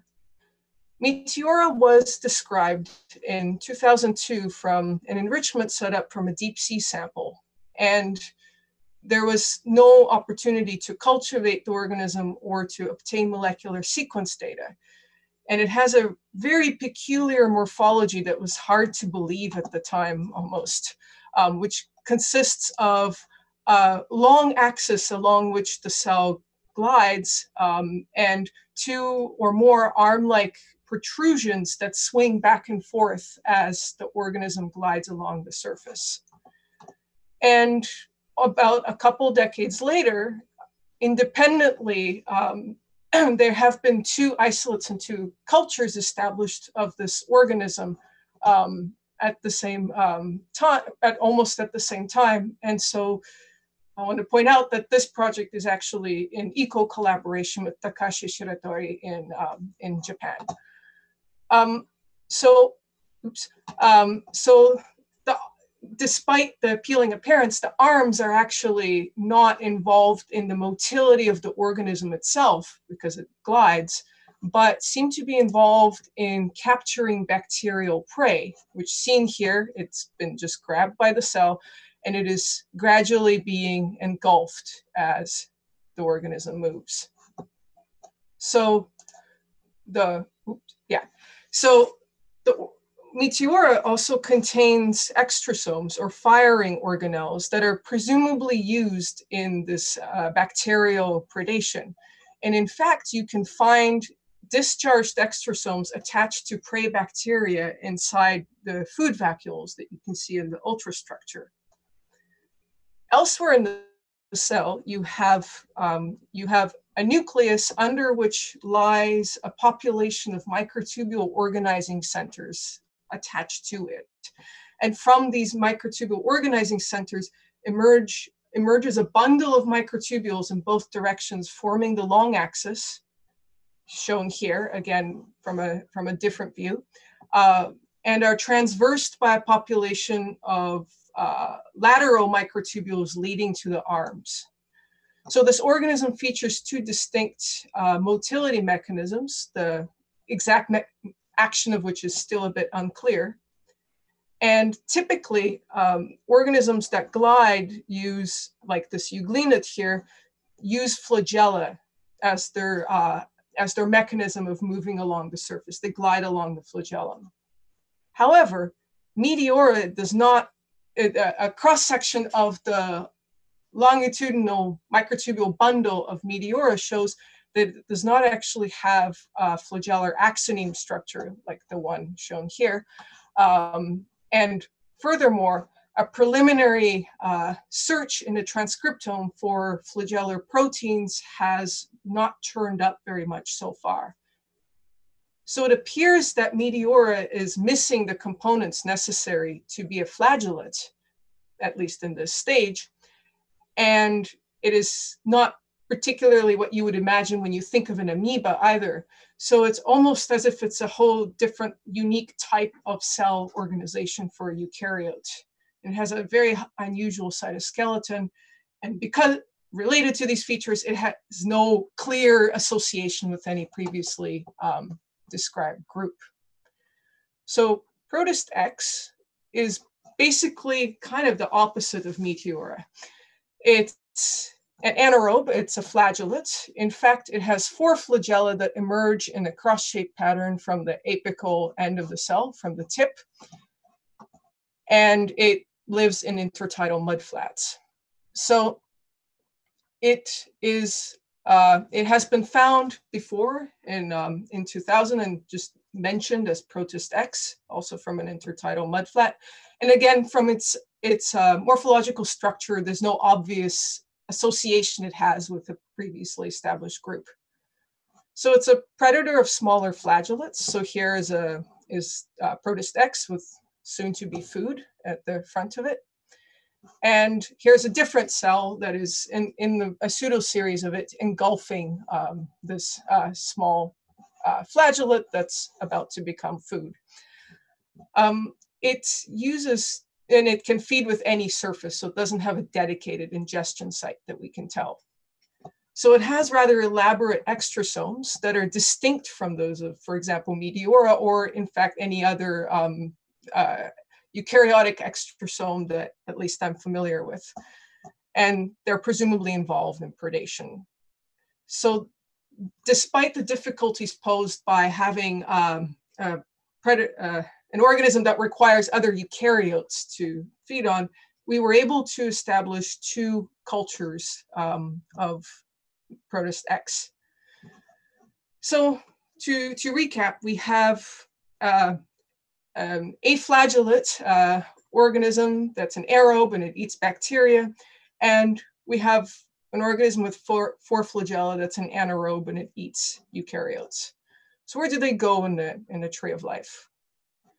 So we cultivated um, a couple, we had a couple strains of each organism. We derived transcriptomes um, and um, in a process that was explained more thoroughly yesterday by Varsha Mathur, um, we obtained phylogenetic marker genes from these transcriptomes. We built, and we built a concatenated um, phylogeny um, that um, set out to include as much as best as we can represent the eukaryotic diversity in the tree of life. So in the, after running a few analyses, um, what we got was that in colors are um, these previously mentioned roughly supergroups um, and indicated uh, throughout the tree, which is not particularly important because it turns out that not only did Meteora and Candelabra not go within any of the previously established supergroups, they in fact went with each other and with the Hemimastigophora mentioned at the beginning of the talk.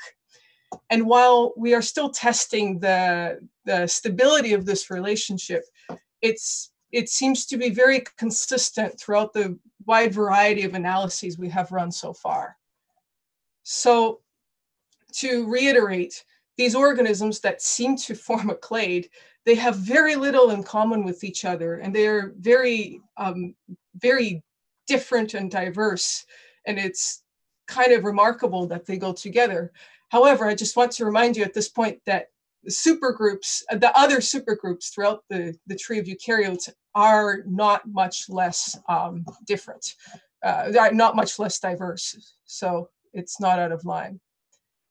So so nothing is immediately alike. And it seems like we found perhaps uh, first representatives of perhaps a new uh, supergroup that we're just finding out about. Um, so to conclude, um, cultivation has led to us finding, um, being able to characterize uh, where Meteora and Protist X go in the molecular tree of life. And it turns out they do not go within any established supergroup, and in fact may themselves form a clade with the Hemimastigophora. And a couple further uh, points that I'd like to, that I'd like to make here is that um, in addition to our rediscovery of uh, these two groups, um, the rate of the discovery of these groups has not been slowing down um, lately. So it comes out to about one a year in the last uh, 15 years. And not only that, but despite the innovations in remarkable innovations in environmental sequencing and metagenomics approaches, thus far it seems like the majority of major new lineages found still seem to come from traditional old school culturing. So cultivation remains the driving force of major lineage discovery today. And with that, I would like to thank all the wonderful people who have helped and been involved, and I would be happy to take any questions. Thank you. We have time for questions. Fabien. Uh, thanks, Yana. It was really uh, it's really fascinating as always. Uh, I was just curious by your tree. Uh, I saw a couple of uh, things that I've never seen before. Um, Mm-hmm. uh, the the placement of um, or the relationship between uh, the the haptophyte and telonemid, and and and as well as the the non-relationship between haptophyte and centrohelid. So I was wondering if you could comment on that. It's a bit technical. Sorry. Yeah, so I wanted, I, you remind me, I forgot to point out here that the back, to not pay too much attention to the backbone of the tree and the actual interrelationships between these deep lineages because they're very hard to resolve at the moment. So yeah, for some reason in, and I've, as you know, I've tinkered with the, with the base uh, data set a fair bit. I seem to be getting telonemins with haptophytes very often. I actually have not been recovering um, TSAR um, for some, and I, I, I have not yet run like fast site removal analyses and all, you know, those long-term um, uh, uh, processes, but yeah, I'm not, I don't know why this is happening. We get we get um, hemimastigophora with uh, telonemids. Funnily enough. so well, maybe we should chat at some point. We should, I think it would be very interesting to talk because I'm, I'm curious about what's actually happening in the, the base data sets on which we run all of these analyses because I think we tend to come up with one and then we do a lot of analyses with them and that might actually be important, an important difference between them, but more later. Um, next, we have uh, Umya. Oh my, yeah. Uh, Umaya, sorry. No problem. Uh, thanks, Yana, for the talk. Uh, I just had a question about your data on the uh, microtubule organizing center in Meteora. Uh, do you have a sense of how many or how many microtubule organizing center you have per cell? Is it always? I mean, this image it appears to have three. Is it always three, four, two? Does it change? Yeah, so I haven't yet counted because you need uh, large enough libraries of series of the cell before you can tell. I think they're not strictly defined in number, but from what I've seen, um, I think I've seen up to about eight-ish, and I think it varies. Um, the thing is that you can have more than two arms sometimes. You can actually, in certain culture conditions, get, you know, a six-armed monster, Yeah. and I don't know if this appears in nature or not, but um, That was my second question. Is this the correlation with the number of arms with the number of micro, microtubule organizing centers? Like,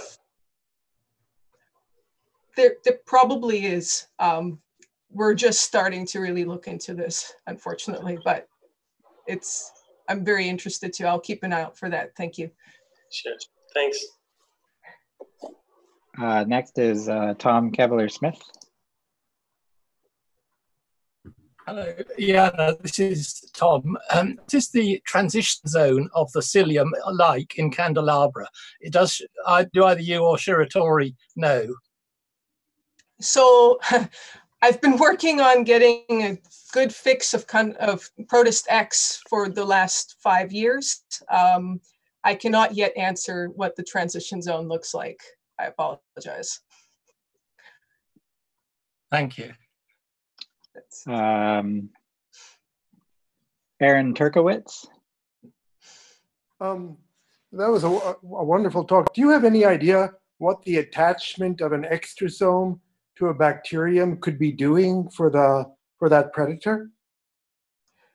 So I think it's probably, this is very difficult to see and probably mostly imagination, but there's a couple pixels here that might be that point where the, the surface of the cell touches the bacterium. This uh, extrasome discharges and just glues the bacterium to the cell, kind of harpoons it to it. I suspect that's what's happening. Um, I don't know if that answers your question. I see. So you think the extrasome remains embedded in the in the host cell while it's also attached to the bacterium?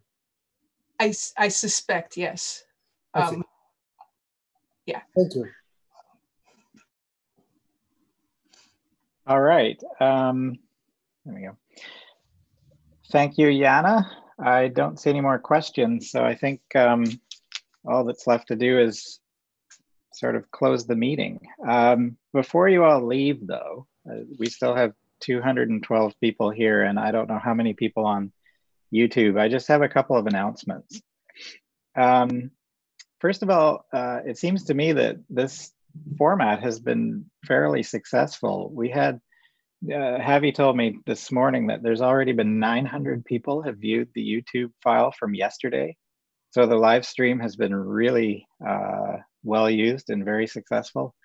There's been sort of on average 230 to 250 people tuned into this uh, Zoom feed uh, as a steady state. Yesterday we had something like 400 uh, independent um, unique guests. So very happy with that, and also very very international. So I, let's I think that's I think this works. So I have a couple thank yous first. First of all, of course, um, personally, I would just want to thank Javi and and Fabien for uh, for doing this together as a group. It was a lot of fun, actually. Like uh, we were saying this morning, we haven't talked to each other so much since we were all living in the same city. So I'm going to miss that when we're done with our fake Zoom meetings to test all the different uh, settings and security preferences and so forth. So I just wanted to thank those two guys for that. Also, we had the, the helpers that I mentioned earlier on who have been keeping you guys out of the weight room. And I forgot yesterday to mention uh, Corey, uh, who designed our wonderful uh, animated logo, which I hope we can uh, pass on to future meeting organizers. And of course, uh, Filip Husnik, who has volunteered to organize uh, a similar sort of electronic gathering in, in, an Asian Pacific time zone friendly way. And that should be happening pretty soon. And Filip asked me again if I could just announced to keep an eye out for that. I guess on the, we're going to hand over the protist.online website to Filip to manage. And so the information will be coming out in the same place. Um, and he's going to be looking for proposals from students and postdocs for talks soon. Um, and lastly, uh, two things. I just want to leave everyone with a thought which is that um, seems to me when we go to a face-to-face meeting, we spend about 80% of our time doing what we just did here electronically. And well, it's not the same. I think it actually works electronically. And I would, in addition to trying to get more of these meetings off the ground and, and, and encouraging societies to use this format alongside face-to-face meetings for uh, people who can't or don't feel that they're able to travel to the meeting. I would like to point out that maybe we should also think about how we spend our time at face to face meetings because we're currently spending about 80% of the time where we've traveled to somewhere to do something that we probably can do fairly well remotely. Uh, personally, I'm going to be thinking about meetings in the future and the kind of interactions that we can't do this way, and maybe those should be something that we prioritize in the future. I like coffee breaks and meals. I find a lot of the really interesting science happens at coffee breaks. Anyway, the last thing is um, I I want to use the uh, the the mailing list that you've if you've agreed to be on the mailing list. If you have not, then you will be removed. Don't worry. But if you've agreed to be on the mailing list, that will be another source of information for the upcoming meetings. And I also want to just use this opportunity. I mean, we're all taking part in a pretty interesting experiment here. Other fields have done this, but I don't think our field ever has. So I want to just get some information from this experiment so that we can do better next time. So um, I hope no one minds. I think we should send out uh, a little questionnaire because I'd love to hear what everybody thinks about, you know, what worked really well, what didn't work, um, and I'm going to include uh, everybody on the whole 550 person registration list. So if you were able to get into the Zoom meeting, you can give us your thoughts. If you weren't, you can tell us how the YouTube stream worked. And maybe we'll um, also just ask you for your general impressions about what, what you liked about remote meetings and what you found was lacking. So we can think about how we prioritize our time and expense with in-person meetings as well in the future anyway, I'll leave it there. And I just also wanted to thank all the participants. I think this went very well technically, and that's partly because everybody um, did exactly uh, what we all should do. Uh, we didn't have any technical glitches. There was no Zoom bombing. There was no uh, people eating chips with their microphone on or whatever else happens in these things. So uh, I think that's been really great. I think it's amazing that all 450 of us were able to to pull this off. So uh, just want to thank everyone for that. And um, if there's nothing else, I'll just say uh, goodbye and we'll see you virtually in Okinawa. So thank you very much. Thank you, Patrick, and everyone. Thank you. Yes, thanks a lot, Patrick. Good job, Fabien. Good job, Javi, wherever you are. Thanks, Patrick, Fabien. Well done, well done. Javi. Thank you, everyone, for organizing this. Thanks a lot. Thanks, Thank everybody. you, guys. Bye. Bye. Thank you. Bye. Next time. Thank you very much. Thank you. Bye bye. Excellent meeting.